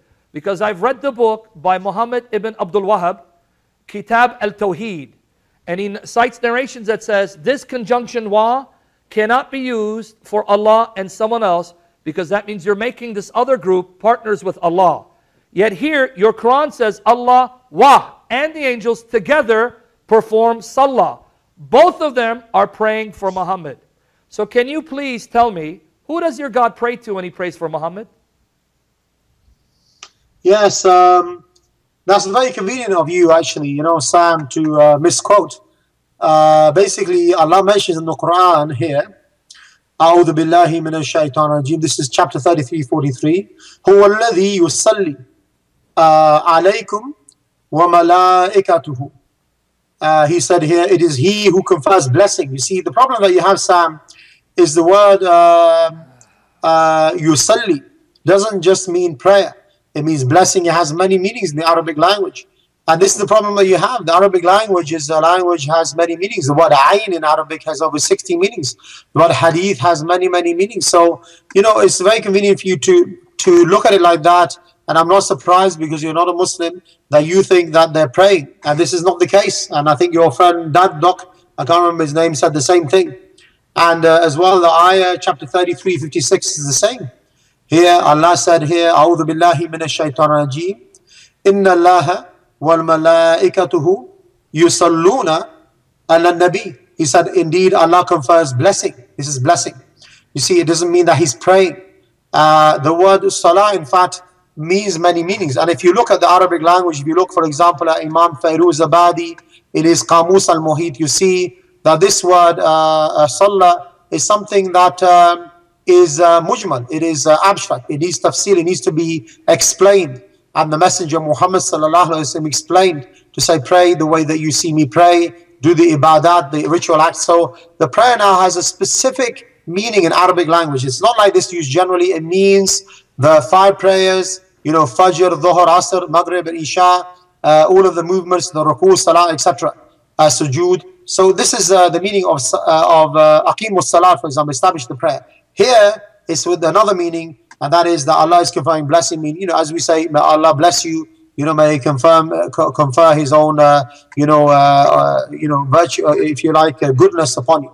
This is what it means. It doesn't mean that Allah is praying. No tafsir will say anything like that, Sam. Okay. Uh, actually, the tafsir does say, actually, the point I made, you're an error again, so let me prove it to you. Here, this is Tafsir Ibn Kathir on chapter 33, verse 56. This is what you say in your daily prayers. Now, tell me if you say this. I'm giving you the English translation. It says, Say, O Allah, send your salah upon Muhammad and upon the family of Muhammad, as you sent your salah upon the family of Ibrahim. Verily, you are the most praiseworthy, most glorious. Now, watch this. O Allah, send your blessings upon Muhammad and upon the family of Muhammad, as you sent your blessings upon the family of Ibrahim. In this very prayer, which you're commanded to recite, both the verb salah and barakah are used, meaning salah does not have the same meaning as barakah. So why did you just say to the audience that the word salah does mean barakah when I thought I was clear? It said Allah and the angels are performing salah. You wouldn't dare say angels bless Muhammad. You would say angels invoke a blessing for Muhammad.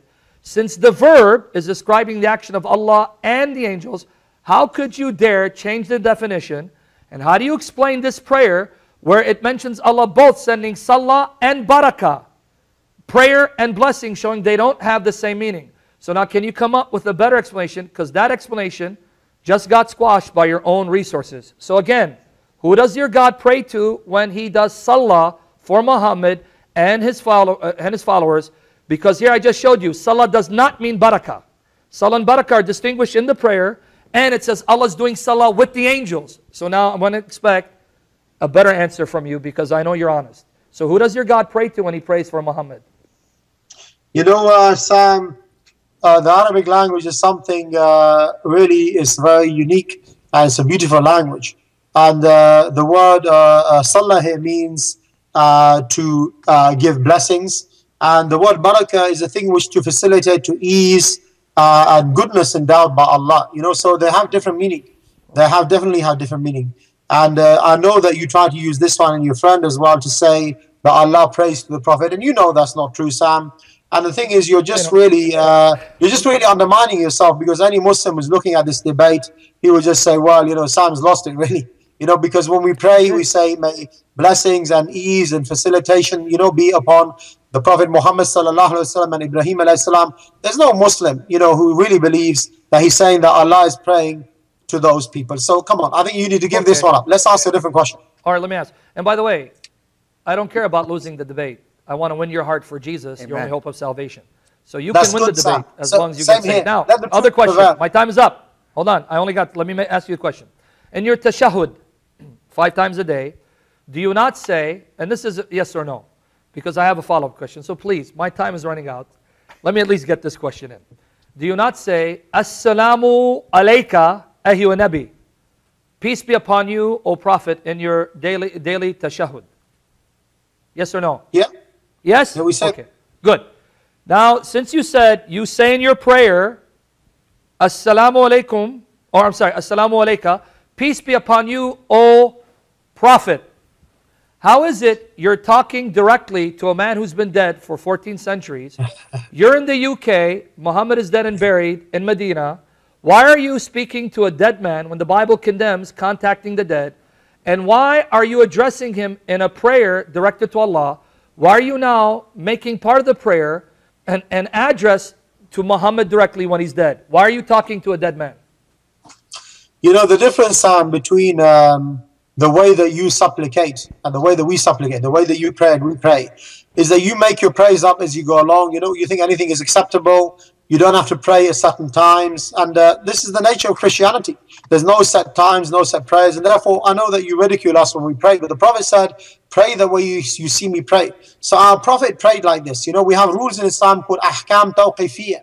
You don't go beyond the text. If this is the way the Prophet prayed, we pray. The prayer is a ritual act. And therefore, we do this ritual act. We pray exactly the way the Prophet prayed, sallallahu alaihi wasallam. May the peace and blessings of Allah be upon him. And uh, that doesn't mean we're communicating with him. This is our ritual act towards Allah. Allah wants us to pray in this way. And, uh, you know, we pray in this way. It doesn't mean that we're communicating with a dead person. Although, you know, if Allah wishes, He will send uh, our salam and He will send uh, the blessings upon uh, all of the prophets. And we know the prophets are alive in their own graves, you know, and how uh, Allah will uh, send our salutation upon Him. We don't know how because uh, the barzakh or the life after this life, you know, between this life and the day of judgment is beyond our rationality. So we can't rationalize this Sam either. But we pray exactly the way the Prophet prayed. It doesn't mean that we're talking to him. Okay. Well, make a point. A point. So you can't rationalize it, but then you condemn me when I can't rationalize something that I believe because of the revelation of the Bible. Are you not being inconsistent? And did you, But you know, not just refute yourself? You know, the Sam difference is you need to embrace Islam, Sam. Okay. Islam is All the right. truth. Okay, my friend. Thank you. Okay, I think we'll uh, we'll move forward here. We do have callers, and here's what I'm going to tell the callers right now. We're going to be real strict with you, so pay attention. One question, 30 seconds at the top, and then we're going to move along. We've got people waiting, so we'll take this first call. Tell us your question and tell it who tell us who it's directed to. And Christian, And by the way, can, before they say, Yes. how many minutes do you want the person to respond and then the respond, counter response? Two well, minutes let's say I would say a minute. Okay. All right, then- so Christian, go. Thank you very much. I hope uh, Mr. Shawadri is listening to me. First, you don't speak Arabic, and yet you are teaching us Arabic. However, if you go to the Quran, Mr. K- uh, Shawadri, you will see that the verse it says, "In Allah wa malaikatahu yusalluna ala nabi," which means Allah and the angels both are praying on the Prophet. So if you say that Allah and the angels sending a blessing on the, uh, the Prophet, this means the bless- blessing come from angels and from Allah, which means that will make angels are the source of a blessing, which is false and this is against the teaching of Islam. Because the only one who can teach, who can give a blessing is God Himself. Therefore, it's same action coming from both Allah and the angel, and it is mean pray. However, all the Quran using the word uh, yusalli as prayer and always a prayer. Okay. However, this is not my question. My question is, in, in the hadith, your God, your prophet said, Allah is not one-eyed, but the false Messiah is, he have a problem with the, with, with, with the right eye. Which means, the only difference between the false Messiah and the true Messiah is the eye. But yet, your prophet, he compare between the face of Allah and the eyes, uh, the eyes of Allah and the eyes of false Messiah, which mean your God Allah is an individual, He is a man, He is a perfect man, and the only difference between Him and the false Messiah is the eye which is having a problem, which mean your God resemble exactly the look of Jesus, which explain why in Sahih al-Bukhari, your prophet said Allah will come to you in a shape different from the shape which you saw first time, which Christian, means Allah He have uh, a Christian. And Christian, let him answer. Yeah, quick. Excellent. Yes, point, but- uh, I think Christian, you know, you expose your own uh, lack of understanding of Arabic. Alhamdulillah, I have enough understanding to be able to understand that when the when the malaika they send their own uh, blessings, it is in the form of du'a, asking Allah obviously to uh, to bless them. This is what we say. You know, we uh, may Allah bless you. This is our, our own, if you like, uh, supplication. But obviously, Allah is the only one who can uh, fulfill that request from us. We supplicate to Him. He is the one who answers. So there's a very simple answer to that. And as uh, as for your issue of the Dajjal, which you're talking about the Antichrist, yes, it's true.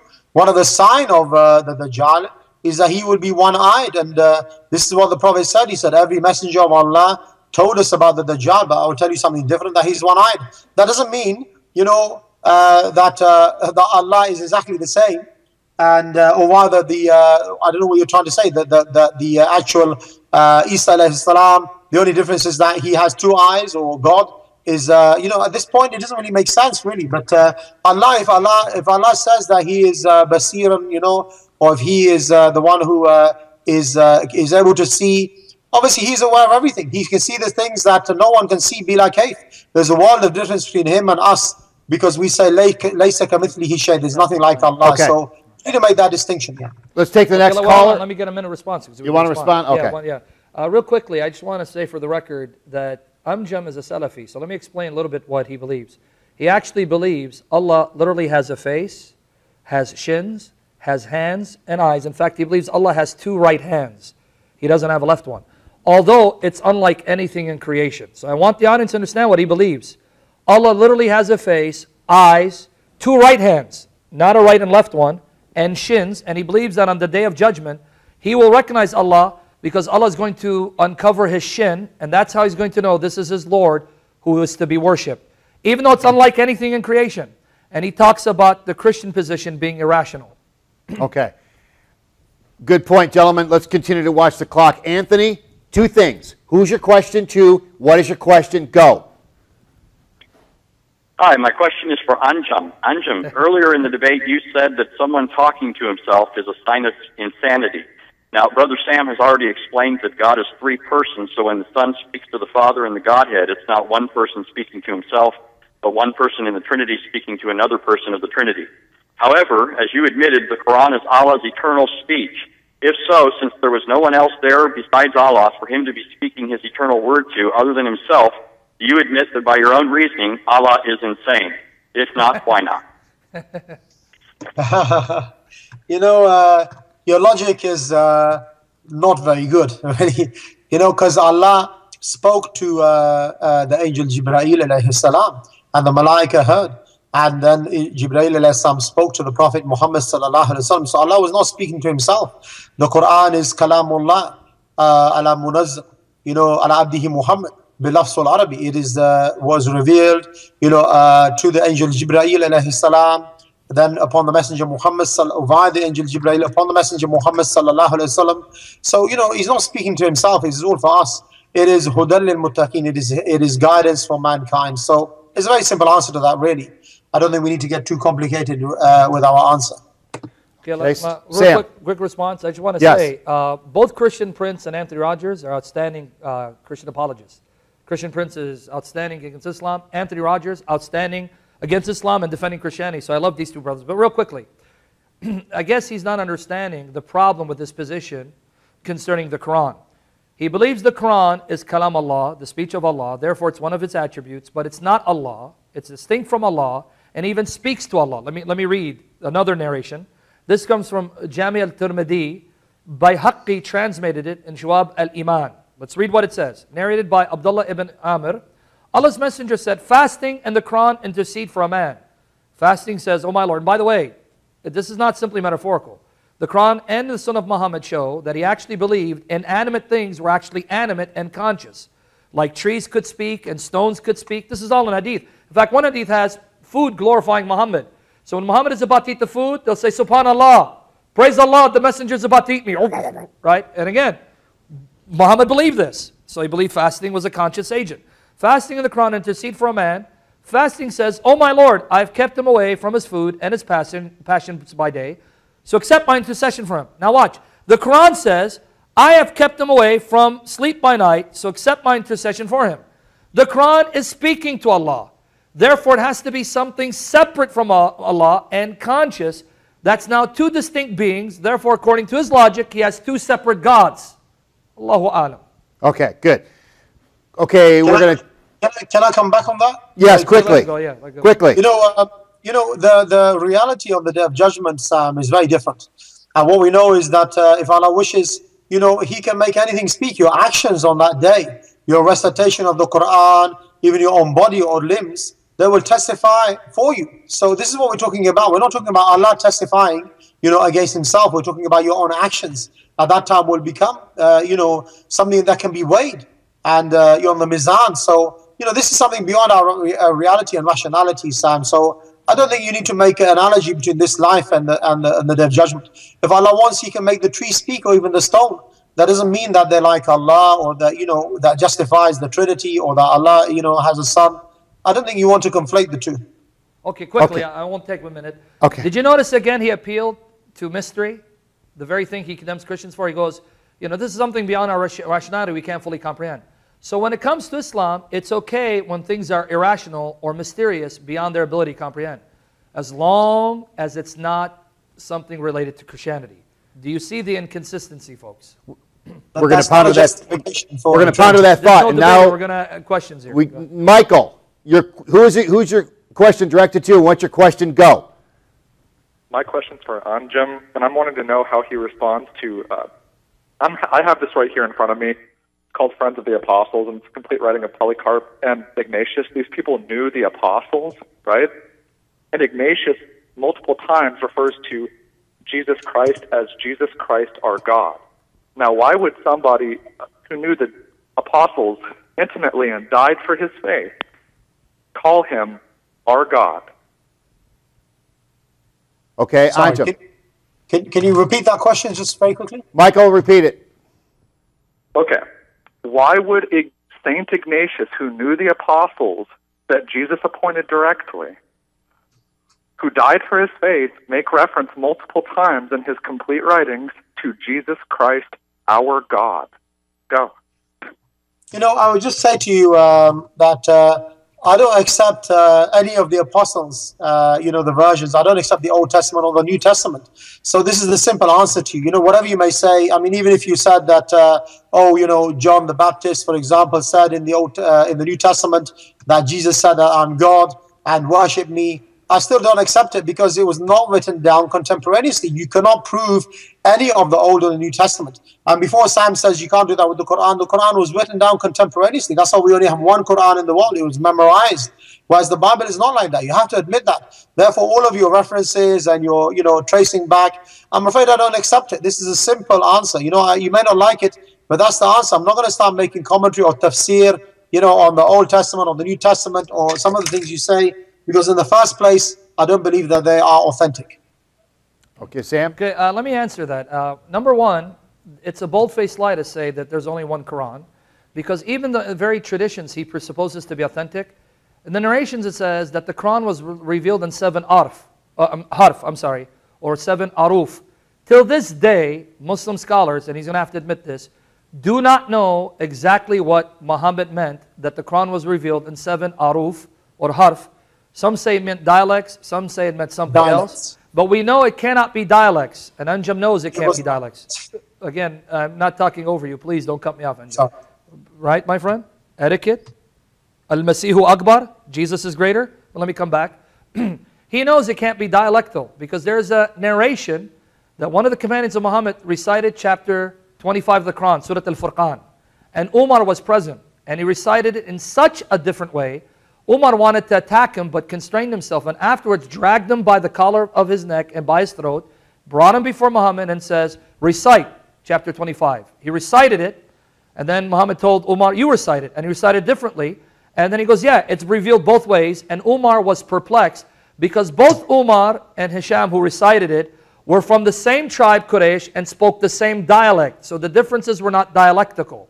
But to make it even worse, Uthman ibn Affan decided to destroy six of the Ahruf and standardize one without divine revelation. So even according to his traditions, he doesn't have all the Qur'ans. He has only one that one man decided to standardize. And even that has come down to us through 14 different ways. If I said that about the Bible, he would be laughing at me. But again, because it's the Quran, remember, rationality doesn't apply. It's a mystery. Allahu Alam. Okay, moving on. Can I answer that? Can I answer that very quickly? Sure. Oh, uh, okay. It's up to the moderator Yeah, if you because want to. um, I mean, it was in fact seven dialects, you know, because if you look, for example, when we recite uh, uh, Al-Fatiha, you can say Maliki Yawmiddin or Maliki Yawmiddin. It has the same meaning. At that time, there were seven famous mutawatir dialects, and the Quran was revealed in all of them. The angel Jibreel salam repeated all of them, and the, the, the favored one by the Nabi sallallahu wasallam was the Qurayshi dialect. It was not that Uthman bin Affan he uh, he rejected the others. No, but he's he uh, in this one he's the one that he uh, he, he made uh, if you like uh, Zayd bin Thabit uh, if you like write uh, uh, and you know get all the parchments and uh, write it so that would be copied and sent to the four corners of the world at that time but it's the it's the same Quran whether it's in the the Warsh or the Quraysh it doesn't matter you know which dialect the fact is that uh, they have exactly the same meaning it's just a different pronunciation it doesn't change the meaning at all, Sam. There's no uh, Muslim scholar would say anything like that. Okay, All we're gonna. I, I guess well, quickly because you know it's only fair I respond. I guess you didn't hear what I said. I just gave you a narration where Hisham and Umar, Umar almost beat Hisham because when he cited Surah Al-Furqan, the 25th chapter, he recited so differently from what Umar learned, and it could not be dialectical. I thought I made that clear because both Umar and Hisham spoke the same dialect. So the difference is not dialectical. I thought I was clear on that. Secondly, you just pulled a fast one on your audience. You quoted two different qirat when you cited um, uh, either the master of the day of judgment or the king of the day of judgment. You know as well as I do, there's a difference between the qirat that you have today and the ahruf. They're not the same. But you just try to pull a fast one on us by assuming that these qirat are identical to the ahruf. They're not. This is why I expect you to be more honest because, like I said, you've been brutally honest thus far. Please do not start twisting the truth just to score cheap debate tricks. That's beneath you, my friend. Let's, let's bring this debate to a higher standard. Let's speak the truth, even if the truth goes against us. And remember, Jesus is the truth in the flesh. And speaking of that, we're going to want to stay on schedule here, breaking some rules by going over time. I know it's good stuff. I know we got callers, and we're going to take this next caller, Abdullah. Who is your call question directed Hopefully, a to? question for me. Abdullah. Hi. Um, How are you? The question is for Brother Anjem. Hi. Um, uh, the, Brother who? The question is Brother Anjem. An, Oh. Anjem Choudary. Okay. Um, the question is about uh, Surah Al-Nur 35. Surah Al-Nur 35. As a Salafi, how would you, uh, what commentary would you choose and why you would choose that? And um, what, how can you explain that uh, to a non-Muslim? Anjem? Chapter Okay. 24, verse 35. Uh, I'm having a look at the verse here. But I didn't quite Chapter Nur, verse 35. Bear with me. Oh, I see this one. Um, أعوذ بالله من الشيطان الرجيم. He said, I- Allahu nuru samawati wal ard. He said that Allah is the nur of the heavens and the earth. Yeah. Obviously, the word nur here means uh, many things, but it is as well sifat. It is uh, it means guidance finish as my well. question, did So you? Allah is the one. Uh, is this the is this the question that he had? He wants Yeah, to ask yeah. about. I'm sorry, I did not. And I did Nur, not nur finish my here question. means that uh, you know Allah is the one. uh, it's attribute of Allah that Allah is the one who guides. So you know there are many there are many names and attributes of Allah. That doesn't mean that He's like your light bulb or something like this. So this is what uh, and Allah mentions about this about uh, the example is like a niche within a lamp, the lamp within a glass, and He gives Allah gives here a parable, a similitude, and that if Allah guides to His light whom He wills, Allah presents an example for the people. So it's not a question of Allah describing Himself, but Allah says that in this uh, in this uh, parable that He is uh, you know the one who guides really. So this is the the correct understanding of this one. Remember, look with the asma and sifat because Sam is correct that I follow the nahj of the salaf. I am what you probably call a salafi. But uh, you know there are three things you want to uh, understand when it comes to the names and attributes of Allah. Number one, the text. We say we confirm the text, uh, nas and the meaning, the ma'na. We confirm the meaning as well. So he's right. You know, I believe that uh, yadullah, you know, means the hand of Allah. But in terms of the form and the meaning, we say bila kayf without to say how. And this is where we differ with uh, the Christians, you see, because you say is actually the son and, you know, he's flesh and blood.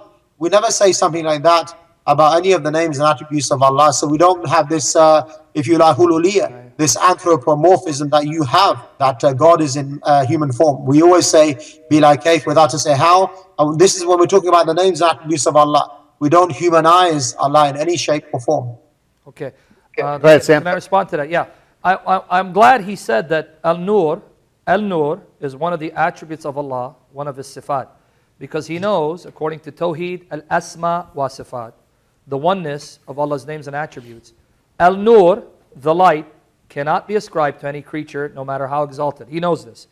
Lo and behold, we have Jesus claiming to be God, because notice here, John 8 12, again, Jesus spoke to them saying, I am the light of the world. Al Nur. If Jesus was a Muslim, he would not dare call himself Al Nur because he would be preaching Tawheed. Like Anjem said. Do you remember that? Anjem said, Oh, he preached Tawheed? No, he didn't. Jesus identified himself as God, who's distinct from the Father and the Spirit. Because he says, I am Al Nur, which according to his theology is the name of Allah that cannot be given to a creature, and Jesus must be no creature if he says this. I am the light of the world. Whoever follows me shall not walk in darkness, but shall have the light of life. So again, I want to thank the brother for helping me prove that the Jesus of history wasn't a Muslim, but he's the God of all Muslims, the God of all flesh. And in another verse, John 9, verses 4 to 5, John 9, 4 to 5, I must do the works of him who sent me, because he's not the Father, they're distinct, while it is day. Night is coming when no one can work. While I'm in the world, I am the light, Al Nur of the world, Al Masihu Akbar, the Messiah is greater. Amen. Okay, Michael, your question is directed to who and what is that question? Hello, yes, my question is for Anjem. Um, Go ahead, sir. You claim that the uh, Quran is the word of God, and you also claim that all the prophets, including Jesus, was Muslim. Now, the Bible itself is harmonious from Genesis to Revelation, and all the prophets before Jesus are from Abraham. All of them were his kindred and brothers. So, how are we to accept the validity of the Quran, which you claim to be infallible, the perfect word of Allah, when clearly no historian, no scholar, no evidence available would ever back up that claim? Can you please explain that to me? When even Jesus himself said that salvation is from the Jews because you know not what you worship. So can you, how can we take the Quran seriously when this is obviously historically, scholarly, whatever you'd like to, to say, there's no way we can prove that. No, no one would ever, ever claim that all the prophets were Muslim, including Jesus himself. Okay, thanks, Michael. Um, I'm not entirely sure if you if you can summarize that question for me. Is he saying about the Quran, uh, the authenticity of the Quran? Is that your question? Let him summarize it again. What was it? Michael? If you just don't mind repeating it, because I was listening, I but I didn't catch the. What, Yeah, what let- is the main point you want to make about let the me Quran? think. Let me. I think the question was, since the prophets of the Old Testament and the New Testament writings all agree they're harmonious, Yeah. and Muhammad comes 600 years later and preaches a message that contradicts all of this revelation, Okay. because Old New Testament agree. Why then, and how should we accept Muhammad as a prophet when his claims and his book contradicts all these scriptures that all agree with each other? Yeah, yeah. Yeah, obviously, I mean, you know, this is more a question about, I think, about the uh, Old and New Testament as opposed to the Quran, because if you accept that uh, what you have in your hand today is some of the Torah and some of the Injil, in other words, some of the Torah and Bible, but mixed in with the teachings of uh, Paul, who used to be Saul, remember, an arch enemy, uh, some of the teachings of King Constantine, and mixed together, and whatever else was added and deleted. And as you know, there are many versions of the Bible. Then it's no surprise the Quran came in order to deal with the misconceptions and the additions and the deletions and the changes that existed. In fact, you know, after Isa was taken up, and therefore you will of course find differences in the Quran. The Quran was preserved and uh, it's inimitable. And it's a challenge to mankind to do something similar. So, you know, this is inevitable. I don't see uh, any contradiction here. That, you know, you know, they may have tried to uniform, uniformize, if you like, or whatever the word is, you know, the scriptures that they've uh, changed in the Old and New Testament, but that doesn't uh, negate the fact that the Quran is the truth. So you should look at the Quran and then you can see what remains of the truth of the Bible and the Torah before. All right. Uh, Let me respond quickly. Sure. First of all, the Quran does not tell Christians to look to the Quran to determine whether the Bible is corrupt. It's actually the reverse. Chapter 5, verse 47 the Quran says, Let the people of the gospel judge by what God revealed in it. It doesn't say, Let the people of the gospel judge by the Quran. So he's again confusing what the Quran teaches. So if I were to follow the Quran, I would have to follow the gospel and use the gospel as my criterion to determine whether the Quran is true or not. When I look at the gospel that was available to the Christians at Muhammad's time, it's the same gospel I have today, and Muhammad fails the test. He stands condemned by the teaching of that very gospel that Muhammad himself told Christians follow, which we still have copies, which our translations are based upon, which exposes him as an antichrist. And I don't mean to be offensive to Anjem, but my religion says he's an antichrist. Whoever denies that God is the Father, Jesus is the Son, is an antichrist. 1 John 2, 22, 23. Secondly, he keeps assaulting Paul. If it's true that Paul corrupted Christianity, then again Anjem is proving the Quran is false and either Allah lied or Allah is impotent. Why? In chapter 3, verse 55 of the Quran, Allah makes a promise to Jesus, supposedly. Now, I don't believe these are the words of Jesus. He believes it, so he stuck with it. Here's what Jesus, Allah supposedly told Jesus I'll make those who follow thee superior to those who reject faith to the day of resurrection. Allah said, Those who follow you, from the time I take you up till the day of resurrection, they'll be superior. Now, does the Quran record the fulfillment of this promise? Yes, 61:14. O you who believe, be helpers of Allah, as Jesus, the son of Mary, said to the disciples. 61:14. Who will be my helpers of Allah? Said the disciples, We are Allah's helpers. Then a portion of the children of Israel believed, and a portion disbelieved, but we gave power to those who believed against their enemies, and they became the ones that prevailed. The Quran says Jesus' true followers prevailed, and that Allah would give them the victory from that time till the day of resurrection. If Anjem is right, Paul corrupted the message of the followers of Jesus, hijacked Christianity, so that the true followers of Jesus disappeared and their message disappeared with them. That means Paul is greater than Allah because he was able to defeat Allah, even though Allah said he would guarantee their victory. This is why Al Qurtubi, Al Qurtubi, in his commentary on 6114, lists Paul as one of those that Allah used to spread the message of Jesus. Here, Qurtubi 6114, his tafsir on this ayah, so you can read in Arabic. It was said that this verse, 6114, was revealed about the apostles of Jesus. May peace and blessing be upon him. Ibn Ishaq stated that of the apostles and disciples that Jesus sent to preach, there were Peter and Paul who went to Rome. See, Qurtubi realized that if the Quran is true, then Paul must be a true messenger whom God used to spread the message of Jesus. Because if Paul corrupted Christianity, that means he nullified Allah's promise, means that Paul is greater than Allah. So he needs to join me in saying, Al Bulus Akbar, the Paul, the apostle is greater. You can't have your cake and eat it too, my friend. Okay.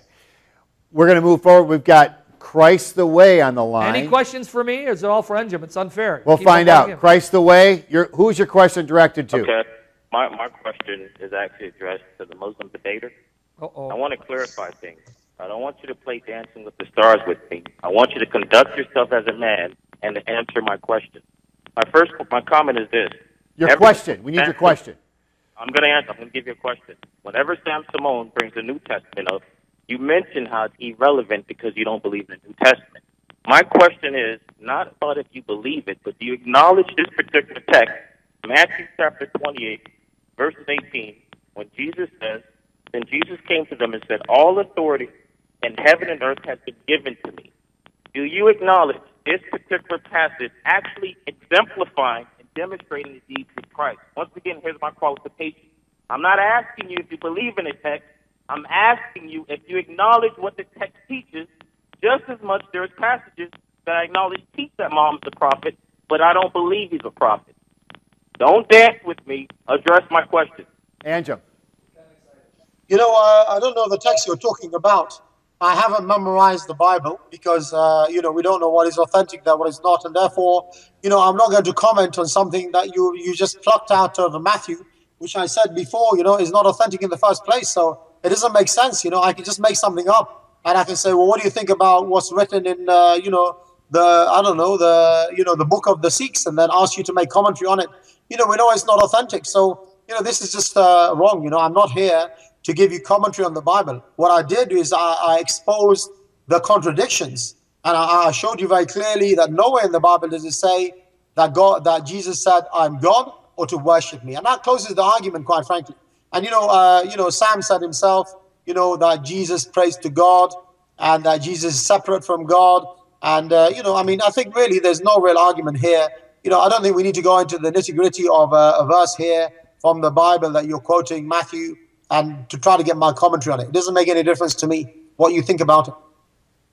Okay. Sam? Uh, okay, now again, if Matthew is not a revelation that God gave to Jesus, with Matthew, Matthew preserved, then again he's proving the Quran is wrong. Remember what I quoted earlier. I quoted chapter 3, verse 55 of the Quran, chapter 61, verse 14, because he believes in these passages. If I was debating an atheist, I would never appeal to the Quran. According to the Quran, Allah's true followers prevailed and did so from the time of Jesus' ascension, and that the followers of Jesus would be dominant till the day of resurrection. I don't think the day of resurrection has dawned upon us, do you? Because if it did, we wouldn't be here. Which means that if the Quran is true, then the true followers and their message prevailed and continues to spread. Lo and behold, what are the only documents that came from the first century, from the time of Christ and his followers? The New Testament documents, Matthew, Mark, Luke, and John. That means if he's right, Matthew, Mark, Luke, and John are corruption of the message of Jesus and his followers, then the Quran is a lie. Allah never gave Jesus' followers the victory because not only did they disappear from the sight, their message was replaced by a corrupt message, and that corrupt message is still spreading till this day. You can't have your cake and eat it too. If you believe the Quran, you have to accept that the New Testament is that revelation that God preserved and gave the disciples the power to spread, which is why it's spreading till this day and will continue to spread till the day of resurrection. But if you accept that, you can't be a Muslim. Because Let these let documents say, back on that. please don't cut me off, I didn't cut you off. These documents say Jesus is the divine Son, fully God in essence, one with the Father and the Spirit, and He's not the Father. Now, you keep saying to me that I said Jesus prayed to the Father. I also said your God prays. Now, I can understand a triune God praying because that's communication and fellowship with one another, and Jesus as a man perfectly worshiping the Father. You again repeated, and I thought I made the answer clear, Jesus never said, I am God. But I thought I was clear that Jesus never said he's the Messiah, but you believe he's the Messiah. Jesus never said he's the Word of Allah, but you believe he's the Word of Allah. Jesus never said he's a Spirit from Allah, but you believe all this even though Jesus never said it. Why the inconsistency? You know, those things that we mentioned in uh, Quran about the fact that uh, Isa salam is the Messiah, and therefore we believe it because the Quran is the inimitable word of God. But I can just say one thing to you. You know, we believe we believe that those uh, uh, people, the disciples of Isa salam, you know, they are the best people. And the Prophet said, you know, the, the Jews and the Christians will be divided, you know, into 71 and 72 sects, and uh, the majority on the hellfire. Only those people who really believed at that time and followed the true teachings of Jesus, his own disciples, you know, they we say that they are the best generation, uh, you know, of their own time, and they will be in paradise, just like the true followers of Moses at that time. But after that, other prophets came, and you know the teachings were distorted. So there's a lot of difference by saying that the original Injil and the people who follow that, yes, we believe that they are in paradise, they will be in paradise. But after that, it was it was taken up. You know, it, it was not preserved on this world. So I think when you read the Quran and it mentions the Injil and the Torah, we're talking about the Christians at that time who follow the true teaching, teachings of Isa salam, meaning the Muslims who are, who are following exactly what we're saying today. We're not talking about the Christians nowadays who've distorted, because there are many other verses of the Quran which say that they're being cursed, and you know they will face their comeuppance on the day of judgment. So once again, Sam and all the people listening, embrace Islam before it's too late. Okay, Okay, Tim. look, uh, let me make a response to this. Go right maybe ahead. We can end it because I don't want. It's been unfair. He's been getting all the questions, so maybe we can cut it short. But let me answer again. Again, this ignores everything I said, and I honestly, Anjem, I'm getting tired of repeating myself. If Not you're as tired as right, I'm getting, okay, well, uh, see, please, it's Anjem, don't cut me off. Let's respect each other. I didn't cut you off, so please don't cut me off. if you are right, the gospel of Jesus was corrupted in later generations, then the Quran is a lie because it said the true messengers of Jesus prevailed and that their dominance remains till the day of resurrection. There is no victory for them if their message was destroyed. So that means their message must be preserved if they are victorious. After all, it's nonsensical to say they were victorious, but their message wasn't. Why did Allah make them victorious? Because of their message. So the New Testament documents must be the true revelations that God gave Jesus and through Jesus to the followers. Otherwise, the, Quran is wrong. Secondly, your own Quran says none of the words of Allah can be changed. You professed and said the Torah is the word of Allah, the Zabur is the word of Allah, the Injil is the word of Allah. Chapter 6, verse 115. Perfected is the word of thy Lord in truth and justice. There is none that can change his words. It doesn't say some. His words inclusive. That means the Torah, the Zabur, and the Gospel cannot be changed if this is true. This is again repeated in 1827. And recite that which hath been revealed unto thee of the scripture of thy Lord. There is none who can change his words. Torah, Zabur, Gospel are his words. Can't be changed. In fact, interestingly, the student of Ibn uh, Taymiyyah, Ibn uh, Qayyim al-Jawziyah, said that Muslim scholars, on the basis of 6115, argued the Torah is incorruptible because it's the word of Allah. So you're not being consistent with the best of your scholarship and the earliest of your sources. And then finally, about Matthew 20:18, which you didn't address, the point of the brother was this: Jesus said, "All sovereignty has been given to me in heaven and earth." Your Quran in Surah 25 2 says, Allah has no partner in his sovereignty. Therefore, if Jesus is a Muslim, he's a bad Muslim because he's claiming something that your God says he will never give to any creature. This, this only makes sense if Jesus is no creature, which is why he has all sovereignty. And since he has all sovereignty, that means he's sovereign over you, the entire Muslim ummah, entire creation, and sovereign over Muhammad. And Jesus is Muhammad's God and Lord. And I pray that you embrace him before it's too late, because it's too late for your prophet. Okay, we've got questions. We've got uh, more callers. And We Tim, take a break or no? Okay. we're going to keep moving. Tim, All right. what's your Any quickly, questions for me? quickly? Who is it? Who is it to? And what is your question? I think I'd like to have can you hear me all right? Over here it's uh, four o'clock, and I need to pray as Yeah, well. he needs to pray. So let's take maybe one or two more questions and we'll call it. a- All right, Tim, talk to us. Okay, can you hear me all right? Yeah, kind of loud, Tim. Okay, so um, uh, my question is for Anjem on his assertions about the Council of Nicaea and Constantine. Okay. Um, so I'm, I have a question. Um, so where's where's this historical evidence that the Council of Nicaea had anything to do with the canon of the New Testament or the divinity of Jesus? Because even uh, skeptical scholars like Bart Ehrman would highly disagree with him on this issue. Where is Let him answer. historical evidence that uh, Nicaea had anything to do with the canon of Scripture or the divinity of Christ? Anjem, do you, do you get your question? Yeah, I got the question. I mean, you know, as I said, I refer to the um, Muslim scholars and uh, our own, uh, you know, scholars like uh, Abdullah ibn Abbas, radiallahu anhu, he said this, and Imam Baqilani, uh, 4th century Hijri alim. So they are the ones who said, you know, from um, the Council of Nicaea, 500 of the scholars agreed that John's statement is not uh, his but Paul's, in fact. And the book of John is fabricated, really, in his name. But they never accused Paul And in this meeting, there were many fabricated gospels. They seized 120 of them, they burned them, they rejected the gospel of Barnabas. I've been through it already with you. So, you know, um, uh, the funny thing is that uh, people refer to books written nowadays. I'm sure, you know, your friend uh, uh, Sam and others, they write books as well. You know, the other day we were debating with Jay and Don, and he was referring to a book written in 2011 as authentic about the foundation of Islam. So we're always referring to books and uh, and the things. But the problem is that uh, history is not the best arbiter of what took place because we're going to differ about things. That's why I say the standard must be the revelation, and the revelation is what is the Quran because it's inevitable. It was preserved, and not like anything else. And that's why you say the gospel according to but uh, you know uh, Matthew, Mark, Luke. Nobody believes that uh, you know is from Jesus himself. And by the way, Sam, I never said the Torah and the Injil are the word of God. I believe that Allah spoke to Musa alayhi salam and Isa alayhi salam. But I don't believe you know that that uh, there are many things written there at that time which are authentic, but not all of it is just the word of God. So I think you're incorrect there. I never said something like that. Check back at the debate. But um, you know we refer to our own uh, sources. So this is the answer to your question. Okay, let me answer Sam? the question then. Then if you don't believe the Torah is the word of God, then you're not a follower of Ibn Qayyim al-Jawziyah, because this is what he just said. After quoting Surah, Surah 6, 115, after quoting Surah 6, 115, he says this. The scholar said, if the Torah was corrupted, he would not have placed it on the pillow, and he would have not have said, I believe in you and in the one who revealed you. This group of scholars also said, Allah said, now he's going to quote 6, 115, and the word of your Lord has been accomplished truly and justly. there is none who can change his words, and he's the hearing and the knowing. Now, notice what he says. And the Torah is Allah's word, which you just denied. That means you're a bad Salafi because the premier hmm. student of Ibn Taymiyyah, Shaykh al Islam, was Ibn Qayyim al Jawziyah, and he says Muslim scholars say Torah is Allah's word. So, so much for that argument.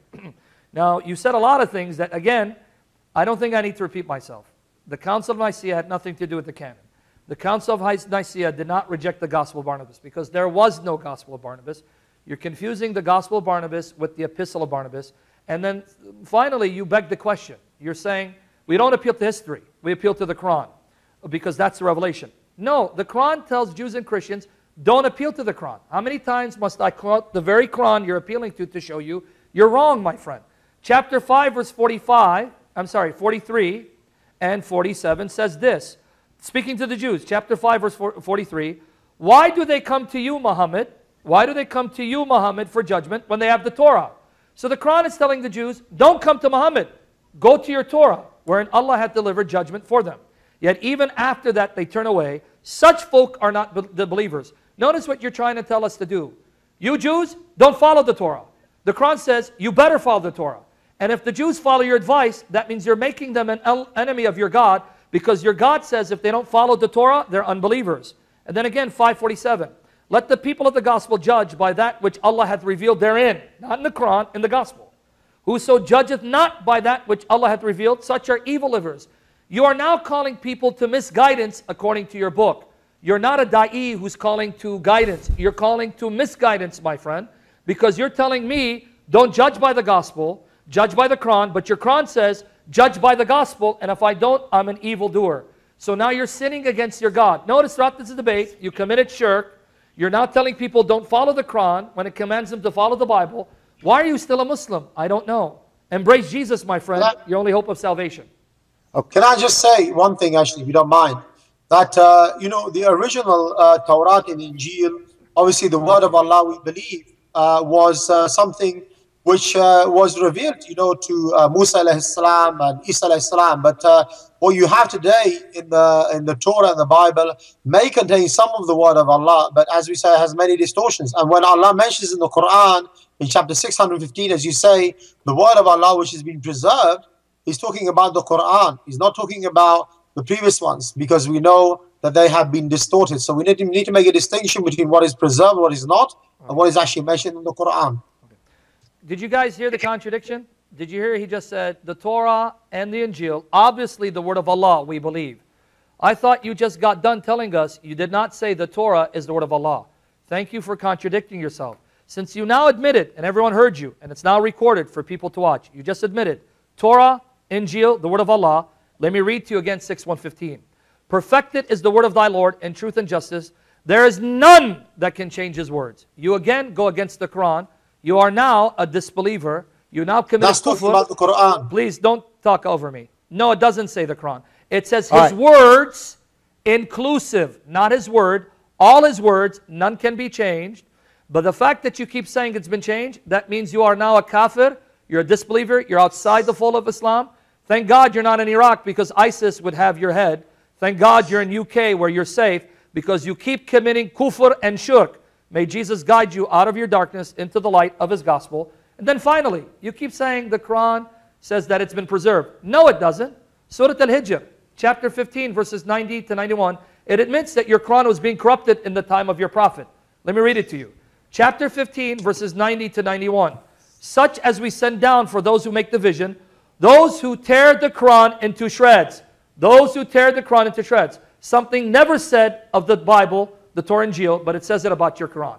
Okay, we're going to take another caller. I know we, we want to keep going, but we've got to. We're Pray, going by the way. to we're gonna Yeah, take at least one more. make this the final one. Suhair, Suhair, what is your, who is your question directed to? What's your question? Uh, it's directed to Anjem, Okay.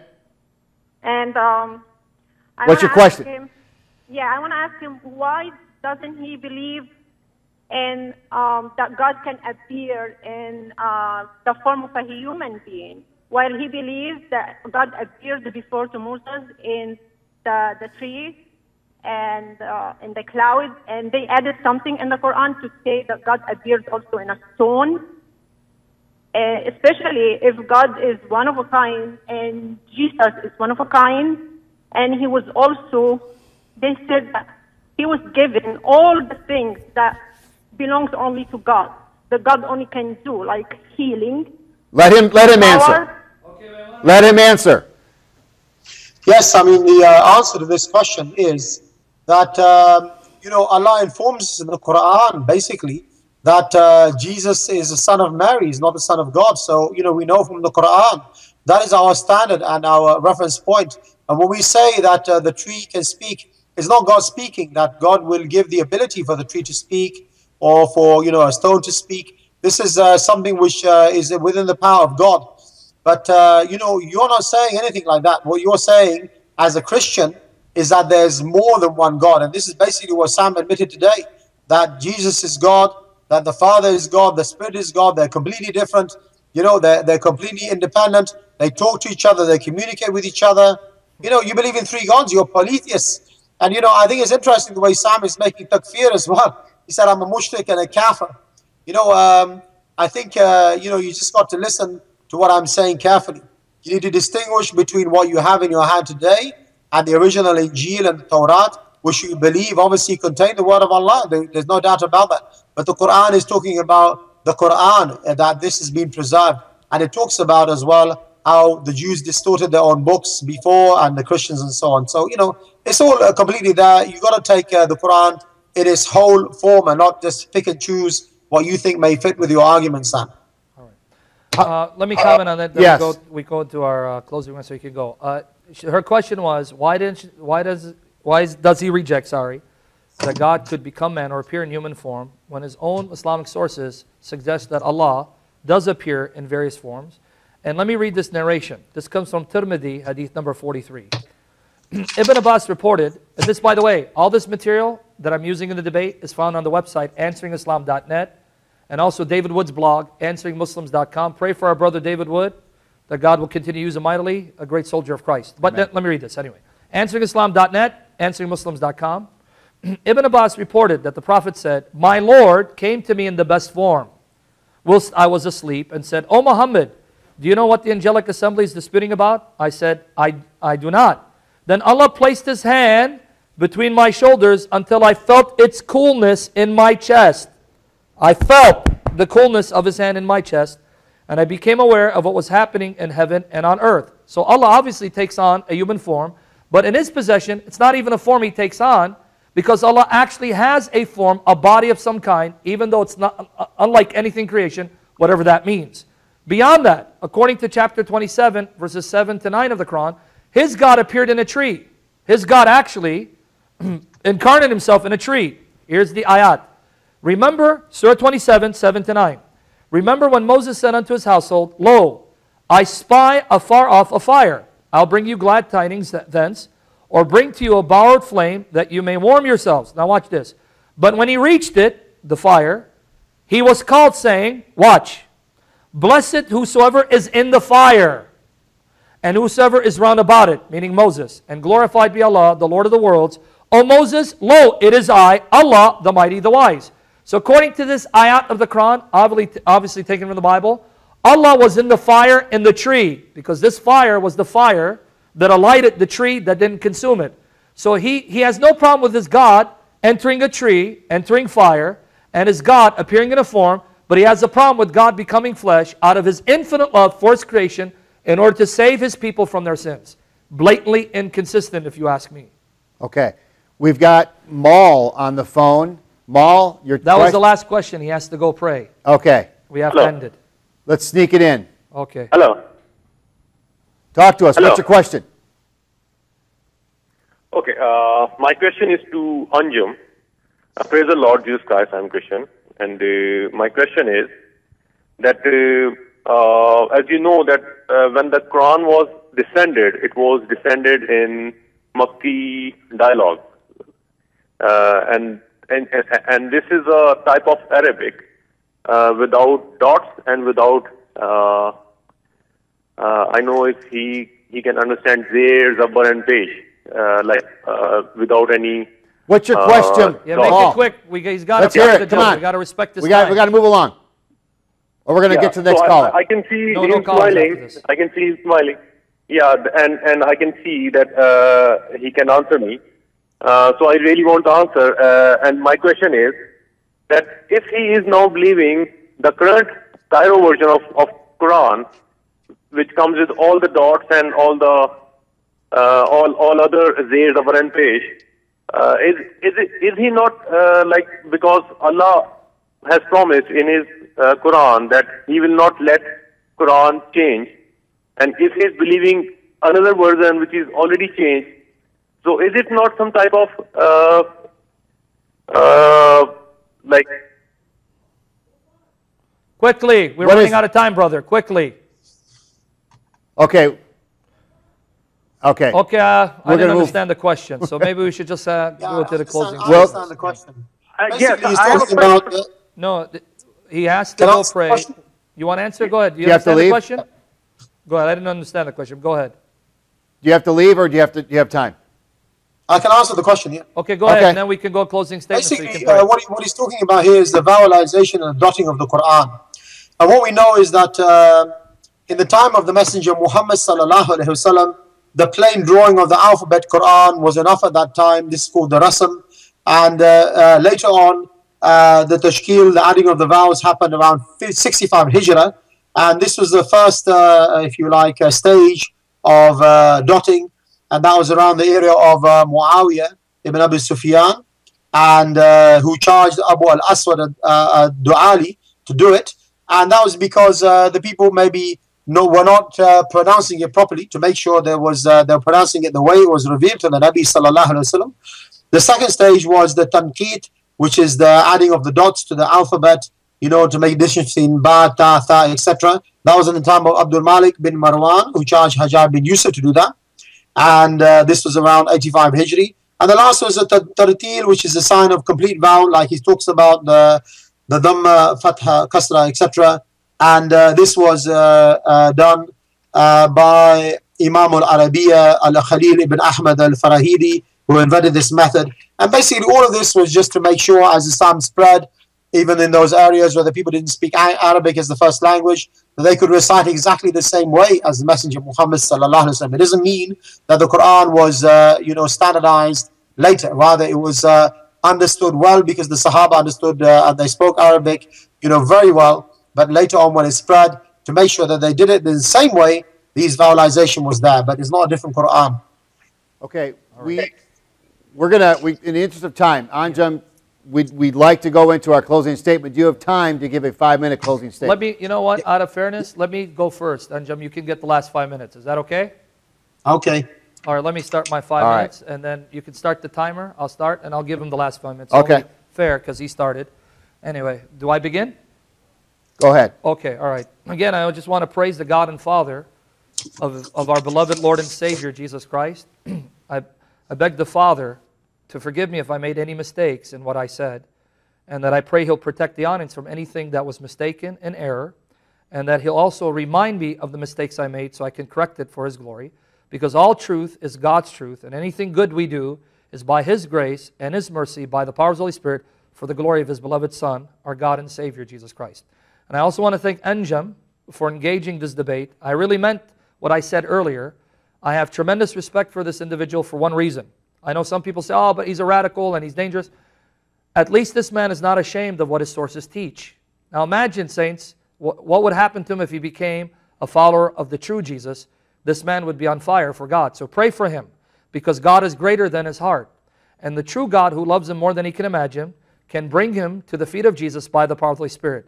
So pray for this man's conversion because his passion for Islam can be directed for, for the true God revealed in the person of Jesus Christ. So pray for this man and pray that God will also stifle this man influencing people from taking Islam seriously and doing what they're doing in Iraq. Again, as, even though I said this man, I respect him, at the same time, he presents Islam as it actually is, and that Islam is dangerous for humanity. And it's dangerous not just spiritually, but also physically, our well being. So may God protect people from his propaganda and bring him to repentance. With that said, let me sum up some of the things that I've covered by the grace of God. I appeal to the Quran not because I believe it's revelation, but my opponent does. If tonight I was debating an atheist or an agnostic, I would never touch the Quran because the Quran has no authority for a Muslim, I'm sorry, for an atheist agnostic. It has no authority for a Christian. It has no authority for a historian who wants to know about the historical Jesus. The same scholars that he cited who would call into question the New Testament documents would actually never touch the Quran when it comes to the issue of discovering who and what the historical Jesus happened to be. The Quran is far removed from the time of Jesus and doesn't contain eyewitness testimony. However, the same Quran encourages Anjem to take seriously what my scriptures teach. Contrary to what he's been saying all night long, the Quran does not attack the preservation accessibility, and authority of the previous scriptures.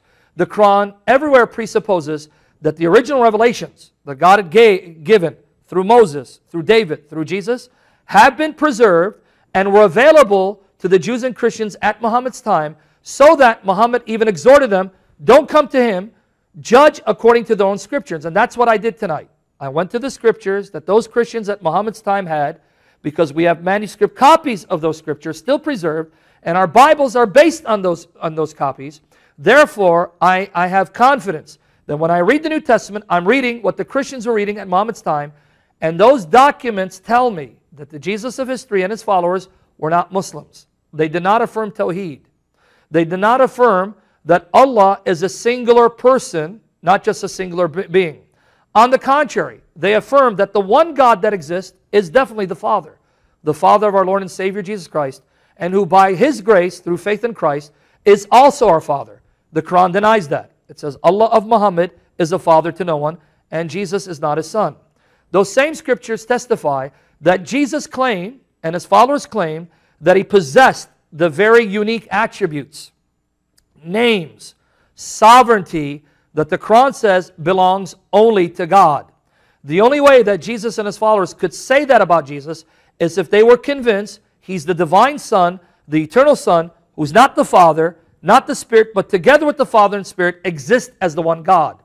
And again, to correct one of the misunderstandings of Anjem, he erroneously assumes that for God to be one, he has to be a singular person. Neither the Bible nor even the Quran makes such an assertion. Yes, God is one. He's one in one sense, one being, one essence, one nature. But he's more than one in another sense. There is no contradiction saying that God is one in one way, but more than one in another way, because even Anjem believes that about his God. That Allah is one in one way, his that, his essence, but he is more than one in another way. He exists with a multiplicity of attributes. And by the way, there was an early Muslim group who said that if you say that Allah has a plurality of attributes, you are nullifying Tawheed. You're committing shirk, which is why they denied that Allah possessed attributes that were distinct from His essence and they were called the Mutazilites. And yet Anjem doesn't agree with their logic. And by the way, they were using Greek logic to come to that conclusion, okay. so that Anjem doesn't accept it. Conclusion Jesus Christ is God in the flesh, and Jesus Christ is Yahweh to the glory of God the Father. Amen. Come, Lord Jesus. All right, a little over, but we're moving on. Moving on here. We'll reset the clock. Anjem, do we do we have five minutes? Yes, I'll have five minutes. Okay, we'll start right now. Sam, I think it was fun tonight, and uh, really, it's very important to debate and discuss these things. And um, you know, I invite you, and I invite uh, the invigilator here, and I invite all the people who are listening, and all the questioners. I'm sure there are many other people who want to ask me questions. Sadly, no questions for Sam, really. But um, you know, I invite all of you to embrace Islam, and that is the main reason why I agree to do these debates. You know, my invitation is to you to say to you, you know, declare your shahada, become Muslim before death embraces all of us. Obviously, we cannot all be correct. There can only be one truth. And that truth is the truth that has been proclaimed by every messenger of God, every prophet of God, from the time of Adam alayhi salam until the final messenger Muhammad sallallahu alayhi wasallam. And it's very easy to become Muslim. I want to say this in case there's anybody out there who wants to embrace Islam. You just declare your own shahada. You say, Ashhadu an la ilaha illallah wa ashhadu anna Muhammadan abduhu wa rasuluh. That I bear testimony that there's no one truly worthy of worship except for Allah and that Muhammad is his messenger and servant. And this is very important. And by that, you don't worship and obey and follow anyone except for Allah. And that's why we say Jesus is uh, a prophet of God, the way many prophets went before. And you know, we revere him. We believe that he is uh, of immaculate birth from the Virgin Mary, that uh, he spoke in his own cradle, that he will come back one day. And uh, then people have no choice but to believe him. And you know, we can see the signs of the day of judgment, you know, they're coming rapidly. So this could be, you know, quite soon, who knows? The signs of the day of judgment are around us now. You know, we see them uh, uh, envelop, uh, you know, unfolding in uh, the re-establishment of the Khilafah now in the Middle East, and we see as well that uh, you know the hurricanes and the floods and uh, the earthquakes have increased the way the Prophet Muhammad sallallahu alaihi wasallam said. And you know, I would say to you that there's a very unique difference between Christianity and Islam. And we're talking today about uh, Jesus not being the Son of God and being a prophet. I mean, that's just one part. But you know, every other religion, whether you're talking about Judaism, Christianity, Buddhism, Sikhism, etc., are spiritual beliefs. In other words, they're about ritual, ritual acts, your spiritual attachment to God. But Islam is different. Islam is a deen, it's a complete way of life. And you can see that it was implemented as a law and order for over 1,300 years from the time of the Messenger Muhammad sallallahu alaihi wasallam until 1924 when the Khilafah was dismantled. And we find again that it's been re-established now since June 2014. And once again, the enemies are conspiring against the Islamic State. So the Islam is something needs to be implemented as a law and order. I mean, by your own admission, Jesus came to the people of Israel. You know, he wasn't sent for the whole of mankind. I think this is even mentioned in your own Bible that you refer to. Whereas Muhammad sallallahu alaihi wasallam was sent for the Arab and the non-Arab, the black and the white, everyone. And uh, Islam was the favor of Islam was completed in the time of the Messenger Muhammad sallallahu alaihi wasallam.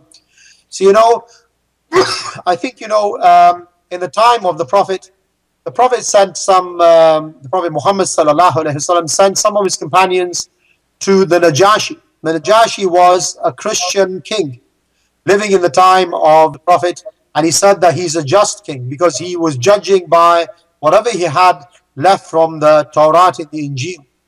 And definitely there is some revelation there still.